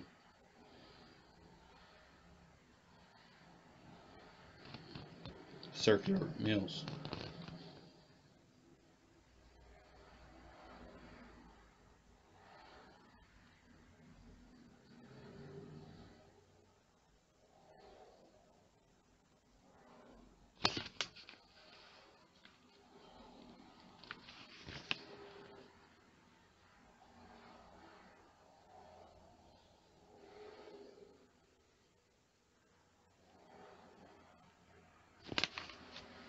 excuse me that is not equal that is not per that uh, table. Calculations will be needed. Five list four factors that affect conductor resistance. One cross-sectional area. Two temperature. Three length. And four material. What is the resistance value of 500 feet of number four copper conductor? The formula is ohms or resistance of 0.2533 ohms divided 1 k feet or 1 kilo feet 1000 feet which equals to 0.12665 divided 0.5 uh, thousand feet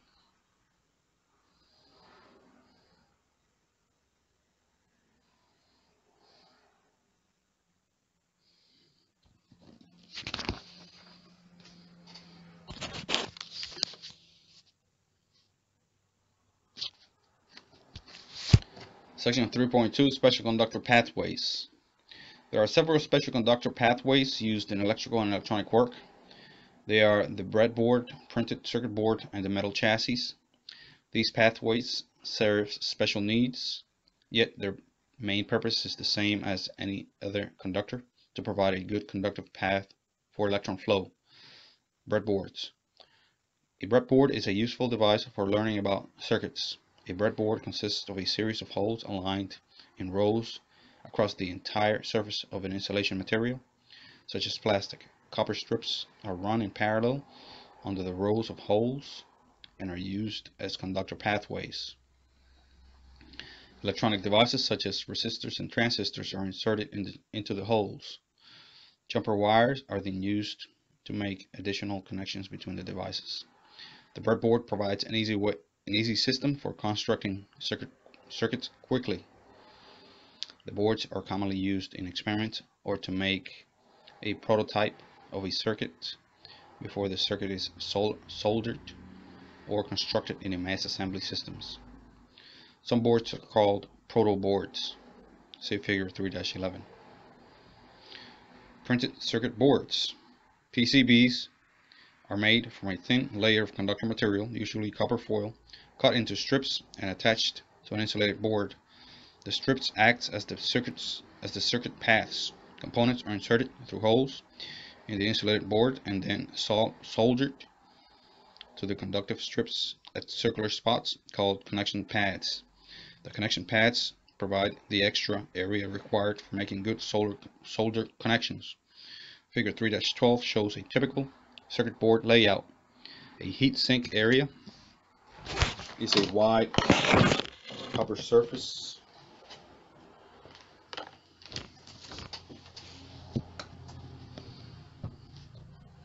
that is used for a common connection point for many devices as well as to dissipate heat the heat generated by the electronic devices. Edge connectors provide the electrical point for attachment to other electrical equipment. The conductor, the, the conductor paths can be less than 0.001 inch in thickness. These strips can be one side or both sides depending on the design of the board. The currents used on most boards are very low and usually do not require heavy wiring. Construction of printed circuit boards.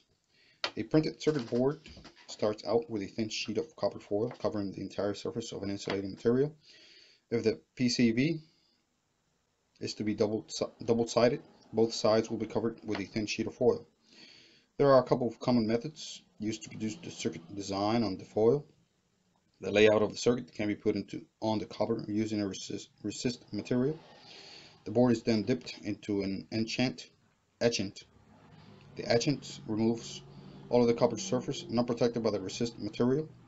The board is then cleaned to remove any excess resist, resist or etchant.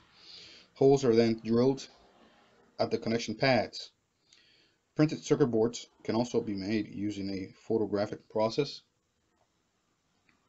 Light sensitive material covers the surface of the board. A negative of the circuit board is board layout is placed over the board the board is then exposed to light and developed in a manner similar to that used in photography. After developing, the unexposed area areas are washed away with a solvent. The exposed area, the pattern of the circuit remains. The board is then etched as was described in the first method. Circuit board components can be installed by hand or by automated systems. The choice is usually based on economics. If a low number of boards are to be produced, hand assembly is less costly. If thousands of boards are to be produced and assembled, automated systems are used. Chassis. In the early years of electronics, components were mounted on metallic surfaces called chassis. The chassis itself served as a part of the circuitry. The use of a chassis as a conductor is not, a common, is not as common today but it is still in great use. One of the most visible uses of the chassis as a conductor is the automobile. The metal frame and body parts serve as a chassis, providing a conductor path for the negative side ground of the circuit. The positive lines leave the positive battery terminal and connects to the device, such as the car's headlamps. A fuse or circuit breaker is in series with the lamps for protection. A switch is also in series for turning the lamps on and off. The return to the negative of the battery is through the frame of the chat or the car of the car or the chassis itself. The negative conductor for, for the lamp simply terminates at the lamp location, connecting the metallic shell of the car, connecting to the metallic shell of the car. The electrons return to the battery through the metallic frame of the car.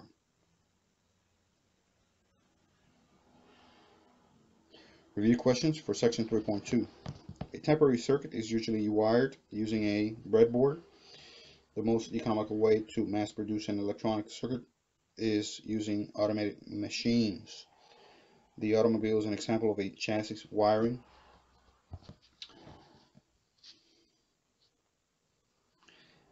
Connection of devices to a PVC is usually made by edged connectors. What other type of transportation could use the frame for parts of an electrical circuit is the aircraft.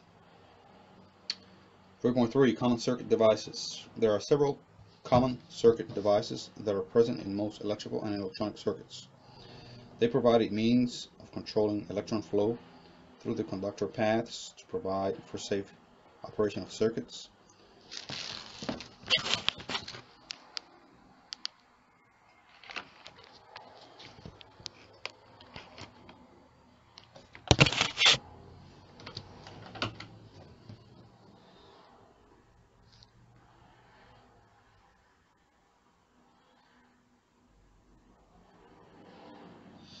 Three important items discussed here are switches, connectors, and circuit protection devices.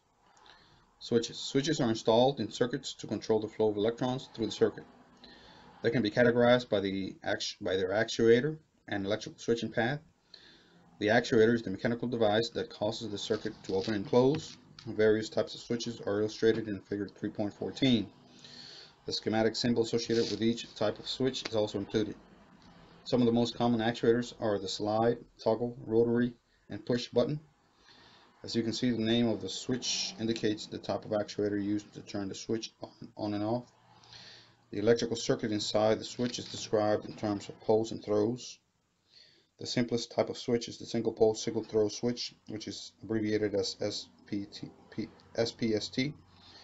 The term single pole means that the switch provides one path for the electron flow and that it can be turned off and on. The term single throw means that the switch controls only one circuit. Single pole double throw switch SPDT has one common connection point and can complete a circuit path to two different circuits. However, only one circuit, circuit can be completed at a time. There are several there are many possibilities and combinations for a switch of this type. A useful application of the single pole double throw switch is its ability to control a load, such as a lamp, from two different locations. In residential wiring systems, the single pole double throw switch is referred to as a three-way switch. In figure 3-15, two single pole double throw switches are connected to a lamp. Either switch is capable of turning the lamp off and on. A double, a double pole double throw switch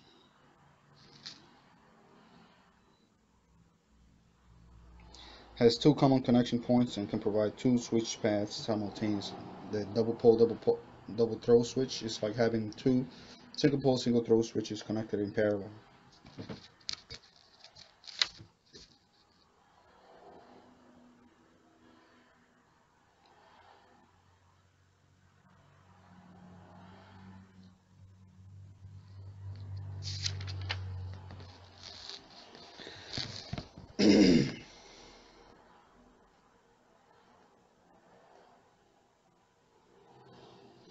Switch ratings. Switches are rated for ampacity and voltage. The ampacity rating of a switch is an indication of how much current it can safely handle. The voltage rating is the maximum voltage for which the switch is designed. Exceeding the maximum voltage rating will cause the electrical mechanical circuitry inside the switch to fail. For example, a toggle switch is rated at 1 amp and 24 volts. A current in excess of 1 amp will burn out the switching circuitry inside of the switch If the 24 volt switch is connected to a 240 volt circuitry, it may fail to open the circuits sufficiently to stop the flow of electrons. This action, this action will, will result in a dangerous situation that can melt the switch's insulation and short circuit the switch. Connectors. There are many types of connectors used with electrical conductors. The type of connection used varies according to the type and size of the conductor. The purpose served by the connection and the type of device to be connected. Look at figure 3-16. You will see many common types of connectors. One general classification of solder solderless connectors. A solderless connector does not require the use of solder. To make a connection, these connection connectors generally require a crimping tool crimping tool squeezes connector to the conductor. Figure 3-16 shows the common wire crimp on terminals and splices. Some types of connectors use screws and bolts in the form of mechanical connection to conductors. These connectors are used primarily for larger conductors. See figure 3-17. Circuit protection devices. Common circuit protection devices are fuses, and circuit breakers. Fuses, such as those shown in figure 3-18, are constructed from small, fine wire. This wire is engineered to burn in certain amperages if certain amperages are exceeded. Fuses are sized by their voltage and current capacity, primarily currents.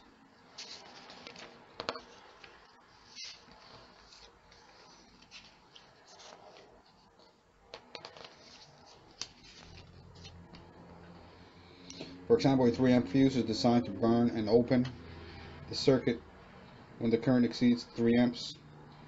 A load that draws 3 amps or greater will generate sufficient heat in the fuse to melt the fuse link inside of the glass tube. The time required to melt the fuse link is inversely proportional to the amount of the overload. This means that the higher of the overload current, the faster the melting action occurs. When the fuse melts, it must be replaced. A circuit breaker a circuit breaker, sometimes called a reset, is another device used to protect a circuit from overload and short circuit conditions. See figure 3-19. The main advantage of a circuit breaker over the fuse link is that the circuit breaker need not be replaced after tripping. It can be reset by moving the handle to the off position and then returning to the on position. Some circuit breakers have an actuator similar to the push button switch these breakers are pushed in to reset after tripping. Circuit breakers are and resets require a waiting period to allow the internal trip mechanism to cool down. Most homes today use circuit breakers as a safety device to prevent overloads, and overloads could result in house fires. Circuit breakers are produced with two different tripping methods. One method is the bimetallic is uses bimetallic strips. A bimetallic strip is a metal strip made of two different types of metal. Different metals expand at different rates. Heat generated from the overload condition causes the bimetal, bimetal trip to expand. The different metals expand at different rates. This causes the breaker's trip mechanism to bend and break contact. Some trip mechanisms are adjustable to allow a more precise trip current. A second tripping, a second tripping mechanism uses magnetism to operate. The circuit current runs through a coil as the current increases through the coil, the amount of magnetism in the coil increases. When a predetermined point is reached, the tripping mechanism operates and opens the circuit. The magnetic circuit breaker is much faster and more accurate than the bimetallic circuit breaker. The magnetic circuit breaker, however, is more expensive than the bimetallic type.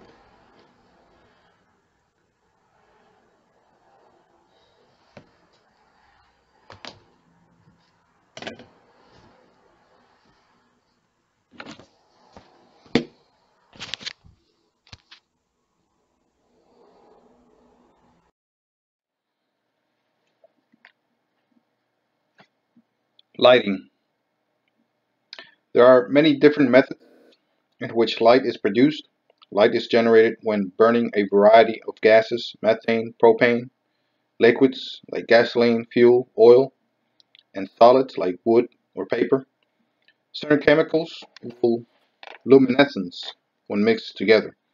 Necklaces and bracelets filled with these chemicals are often sold at nighttime celebrations. Various minerals and glow-in-the-dark toys supply light through phospho phosphorescence. They absorb energy from sunlight or a lamp and then release this energy in the form of light when the energy source is removed. However, for most of our lighting systems, energy, the energy source is electricity. There are two very different types of electric lighting systems. One is incandescent lamp and the other is the discharge lamp.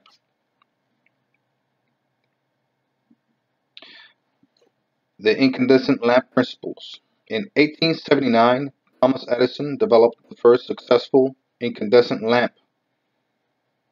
In an incandescent lamp, and heat, light and heat are created from current flowing through a filament.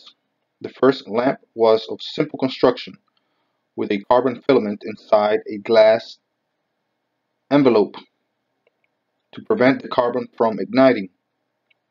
Soon afterward, the tungsten filament replaced the carbon filament. The tungsten filament proved to be a much more efficient method for producing light than carbon filament. In figure 3-20, the basic construction of the incandescent lamp is illustrated.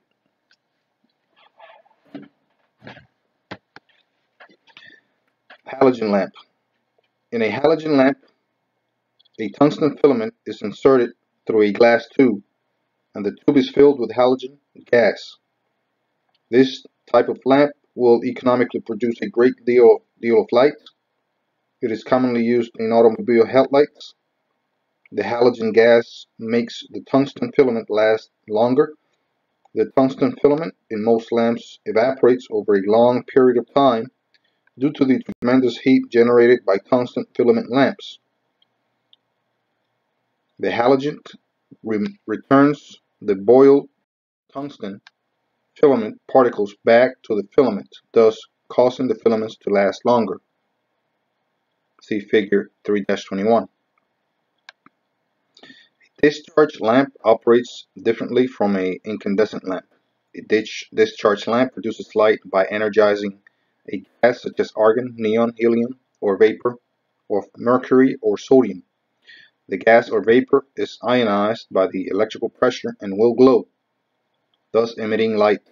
A discharge lamp can easily produce 20 times more light than a conventional, than a conventional filament bulb while using the same type of the same type and amount of electrical energy. Descriptions of several types of discharge lamps follow. The fluorescent lamp. The fluorescent lamp consists of a long, long glass tube coated on the inside with phosphor. See figure 3-22.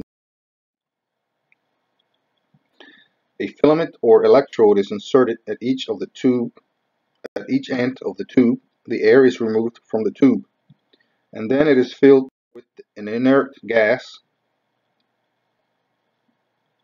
and a small amount of mercury. When the tube is energized, the filament the filaments at the end will glow. However, the filaments do not provide very much light. The filaments are used to produce heat, which vaporizes the mercury inside of the tube. Once the mercury has been vaporized, the electrons flow along the mercury vapor Ultraviolet light is produced inside of the tube. The ultraviolet light strikes the phosphor coating and makes and causes it to glow. This produces the familiar phosphorus light. A ballast is used to limit the current inside of the tube. The ballast consists of many turns of fine wire. The ballast is also used to produce a higher than usual voltage, which is applied to the filaments in the ends of the tube. An older style fluorescent lighting used starters in, this, in their circuitry between the ballast and the lamp. The purpose of the starter was to allow the filament inside of the lamp to conduct and produce the necessary heat to vaporize the mercury. Once this was accomplished, the starter would open and cease the heating action of the filament. Newer fluorescent lamps incorporate the device a device in the end of the tube that replaces the need for a starter. Compact fluorescent lamp. Compact fluorescent lamps, or CFLs, are special fluorescent lamps designed to screw into a standard incandescent lamp. CFLs are much more efficient than incandescent lamps. For example, a traditional incandescent 60 watt lamp can be replaced with a 11 or 15 watt CFL and produce the same amount of light using a quarter of the electrical energy. Temperature is another way CFLs are cost effective. An incandescent lamp gives much more heat than a CFL. Replacing incandescent lamps with CFLs can reduce the cost of air, of air conditioning. A typical spiral type CFL is shown in figure 3-23. The large base of the bulb contains the ballast that is required for fluorescent lamps. The initial cost of the CFL is higher when compared to an incandescent lamp, but the savings are realized approximately of, in approximately 500 hours of use. CFLs are designed to, for use with both AC and DC sources. The DC type is used for recreational vehicles and portable lighting that runs on batteries. The mercury vapor lamp, shown as shown in figure 3-24, uh, shows the construction of a typical mercury vapor lamp. It consists of two electrodes connected at opposite ends of an arc tube. The arc tube contains a small amount of mercury and argon gas. When the lamp is energized, the starting electrode generates heat to vaporize the mercury and ionize the argon. After a considerable time, the starting electrode opens allowing the current to flow through the arc tube. The disadvantage of this type of lamp is the long delay required when starting or when the power has been temporarily interrupted. The neon lamp, shown in figure 3-25, consists of two electrodes inserted in the ends of a long glass tube. The tube is often heated and shaped into words or pictures for commercial applications. After being shaped to achieve the desired effect, the tube is filled with neon gas. A neon light transformer is used to produce a high voltage, 10,000 volts or more, which is needed to create a current through the neon gas. Because of the high voltage present, special high voltage, voltage insulation is used to insulate the conductors after the light is energized. The neon tube will glow. Parts of the tube may be darkened out by black paint to achieve varied designs. To create the, var the variety of colors, other gases such as argon and helium can be used. Although these lamps are filled with gases other than neon, they're often referred to as neon lamps out of custom. Glow lamps. The glow lamp is very similar in construction to a neon lamp.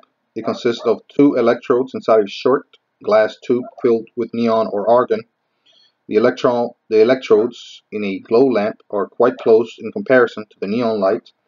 Consequently, a glow lamp does not require the same high voltage or voltages required in typical neon light neon signs. Strobe lamp.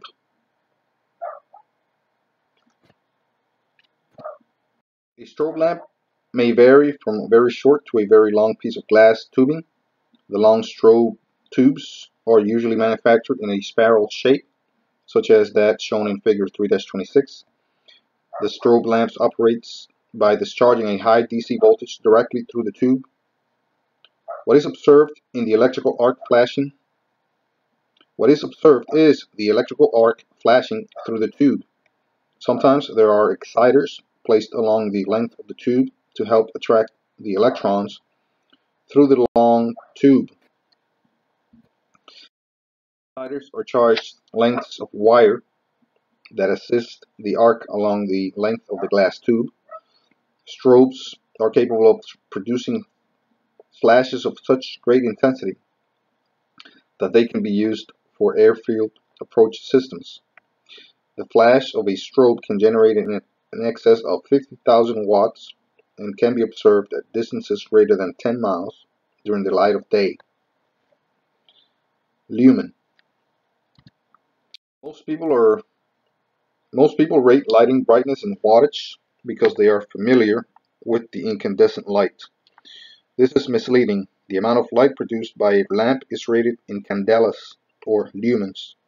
The candela is based upon the amount of light generated by one candle. The lumen is the term used to measure the amount of light generated by lighting systems. Look at figure 3-27 to see an illustration comparing the candela and the lumen. A candela will produce 12.57 lumens at a distance of 1 foot from its center. A 100 watt incandescent light a typical value you will find in your home, can produce as much as 4,000 lumens of light. The chart that follows shows a comparison of light intensities. Lumens per watt, LPW, gives the amount of light produced for each watt of energy used. The higher the LPW, the more light you will receive for each watt of energy or electricity.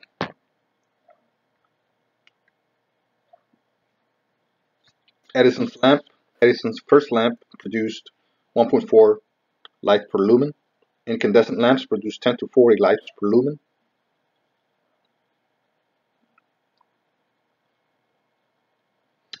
Lumens per watt, that is. Fluorescent lamps produced from 35 to 100 lumens per watt. Halogen lamps produce 20 to 45 lumens per watt. Mercury vapor lamps produce 50 to 60 lumens per watt. Metal halide lamps produce 80 to 125 lumens per watt, and high pressure sodium lamps produce 100 and 140 lumens per watt.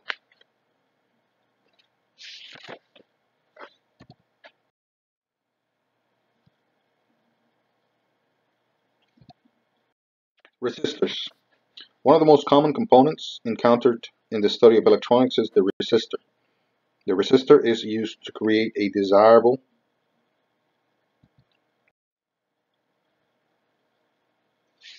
The resistor is used to create a desirable voltage drop and limit current values in electronic circuitry.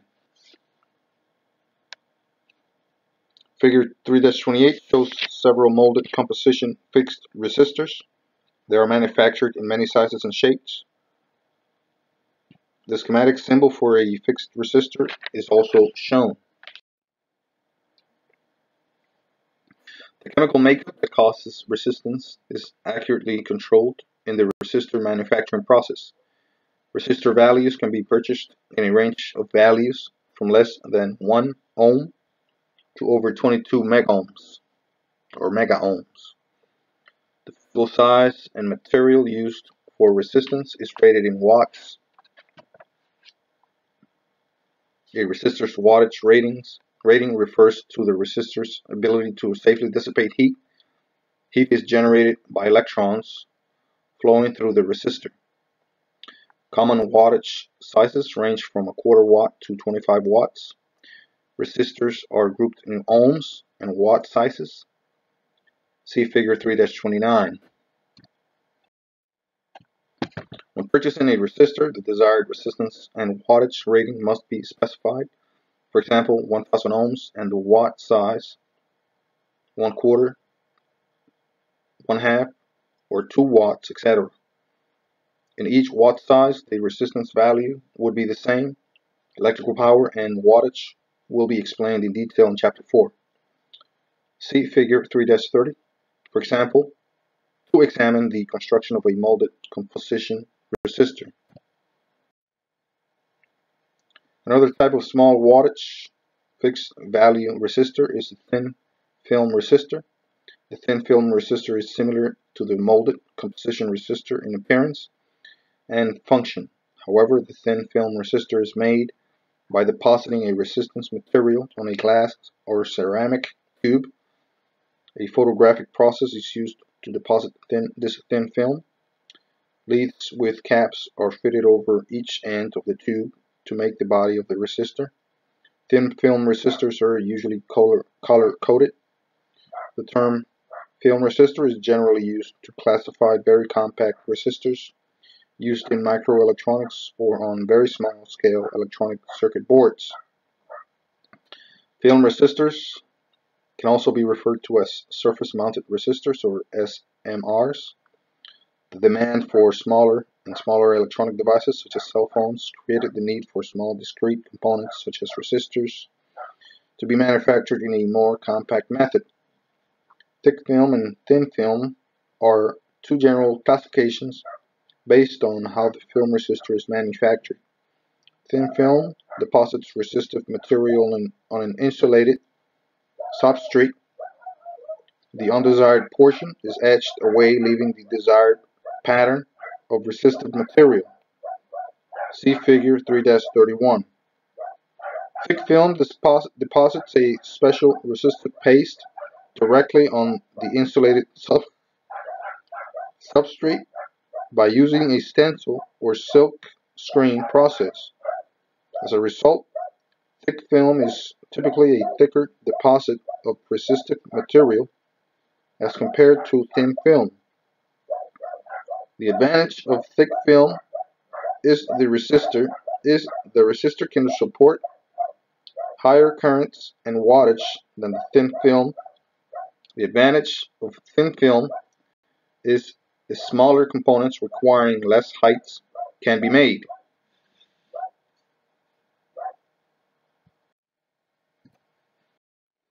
The substrate is made from glass, ceramic, or silicon, and it is used as an insulator base for the resistor. A layer of resistor material is deposited on the substrate in a zigzag pattern precisely engineered to produce the desired resistance value. The resistor materials are made from metals or carbon mixed in a precise proprietary proprietary proprietary formula. The result is a thin film which is only a few micrometers thick or thick film which is 10 to 50 micrometers thick. A protective coating is used to cover the resistor material deposited on the substrate. The ends of the film resistor serve as the connection terminals and are made from metal such as nickel or silver or they can be made from an alloy. Solder is used to mount and connect the film resistor to the circuit board. See figure 3-30. The process is very similar to the same process used to manufacture integrated circuits or ICs. The process is covered more in more in more detail in chapter 19. The number stenciled directly the number stenciled directly on the surface mounted resistors indicates the resistance value. When a three-digit number is used, the first two digits represent the first two digits of the resistance value and the third digit represents the number of zeros to add to the first two digits. For example, the 202 in figure 3-32 represents the resistance value 2000 or 2K plus or minus 5% tolerance, meaning it's allowed to vary by 5%. When four digits are used, a tolerance of plus or minus 1 exists. The four-digit numbers, the same for the same for the four-digit numbers, the same rule applies. That the last digit represents the number of zeros. For example, 5002 would represent 50,000 or 50k ohms, plus or minus 1 tolerance. For resistance values that require a decimal, a letter R is used to indicate the decimal points. For example, 7R would represent 7.5 ohms. Film technology is not restricted to single resistors, but also may also be designed to produce resistor networks on a single chip. A resistor network consists of two or more independent resistors contained in one single surface mounted package. For higher current uses, resistors are wire wound a thin wire is wound on a ceramic core. The wire has a specific fixed value resistance. The entire component in insulated is insulated by a coat of vitreous or opaque enamel. These resistors are shown in figure 3-33. The wire wound resistors are commonly manufactured in sizes from 5 to 200 watts. The wattage chosen depends on the heat dissipation required during operation. Metal oxide resistors are also high, used for high voltage and wattage requirements. Another type of wire wound resistor is the adjustable resistor. Unlike the standard wire wound resistor, the adjustable resistor is not entirely covered by enamel material. Instead, a portion, an adjustable sliding tab is attached to move across the exposed surface. This allows the resistance value to be varied. The adjustable resistors may have two or more taps for providing various resistance values in the same circuit. An adjustable resistor is and the symbol are shown in figure 3-34. Potentiometers. Most electronic equipment requires the use of variable resistance parts. A potentiometer is a very common type of variable resistor found on electronic projects. The potentiometer has a rotary knob that varies the resistance value. As it is turned, the variation in the resistance is provided by a contact that is attached to a ring of resistive material inside of the device. This device is similar to the wire wound resistor. Many potentiometers are constructed with thin wire inside of the source, inside as the source of resistance. Various styles of potentiometers are illustrated in figure 3-35 also shown is the potentiometer's schematic symbol.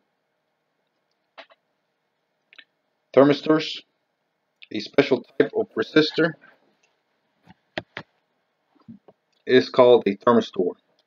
In comparison to other types of resistors, a thermistor is unusual due to its ability to change resistance value rapidly as its temperature changes. It is commonly used to prevent high inrush currents in electrical circuits. An example of a thermistor can be seen in a, uh, in a blow dryer. A common blow dryer has heating elements composed of tungsten wire. The tungsten wire has a very low resistance value when cold and a high resistance value when red hot. The thermistor is placed in series with the heating element to prevent a high current value when the dryer is first turned on. As the blow dryer heats up, the resistance value goes down. The result is a very is a fairly consistent current value as the dryer heating elements changes from low resistance cold to high resistance hot. Early blow dryer models caused a dimming or flickering of lights and other electronic equipment in the home because of inconsistent current draw. The thermistor eliminates this problem.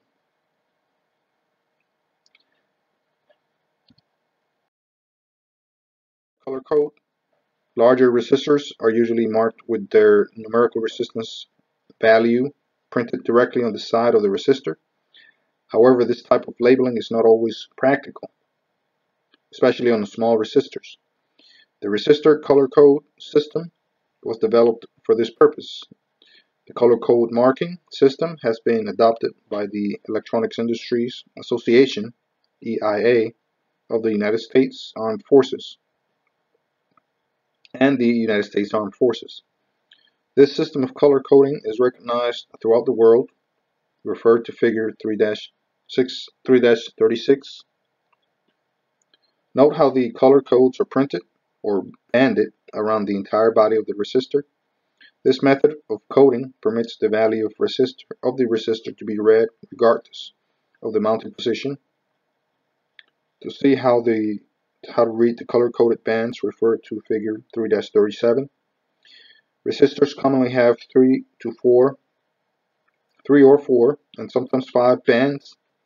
Each band has a unique meaning. The first band represents the value of the first digit of the resistance value. The second band represents the second digit of the resistance value.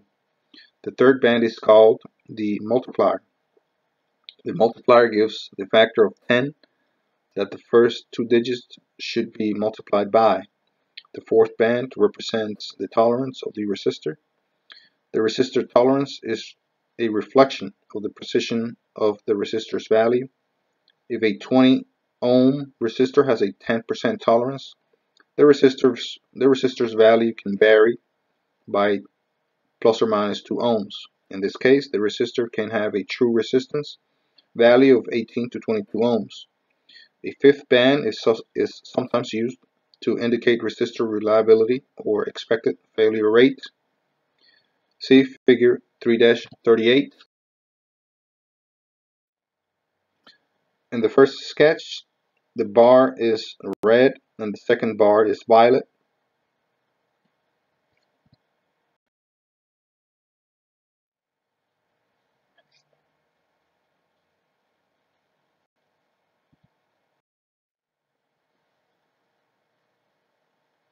Checking the color code chart shows the first two digits to be 2 and 7 or 27.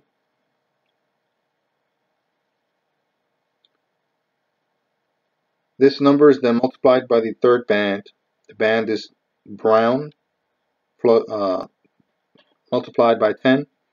This indicates that the value 27 is multiplied by 10 for a final for a final value of 270 ohms. This is what the resistor value would be if the resistor was perfect. However, the fourth band is silver. This indicates that the resistor has a tolerance of 10%. In this example, the tolerance is a plus or minus 27 ohms. So 200, 270 times 0.1 equals 27. Thus, the value of the resistor is sometimes between 243 ohms and 297 ohms. Work out the stated value, maximum value, and minimum value for the other two sketches in figure 3-34 on your own.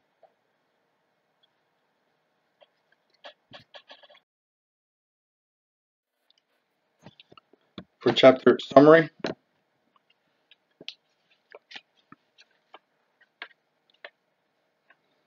for chapter 3 summary, one conductors provide a low resistance path while insulators provide a high resistance path. Two, four factors that affect the resistance of a conductor are length, cross-sectional area, temperature, and type of material. Three, a mil equals to one one thousandth of an inch. A circular mil equals the diameter expressed in mils squared or d squared for a round conductor. 5. Conductor insulation varies according to application. 6. Switches are used to control the flow of electrons through a circuit.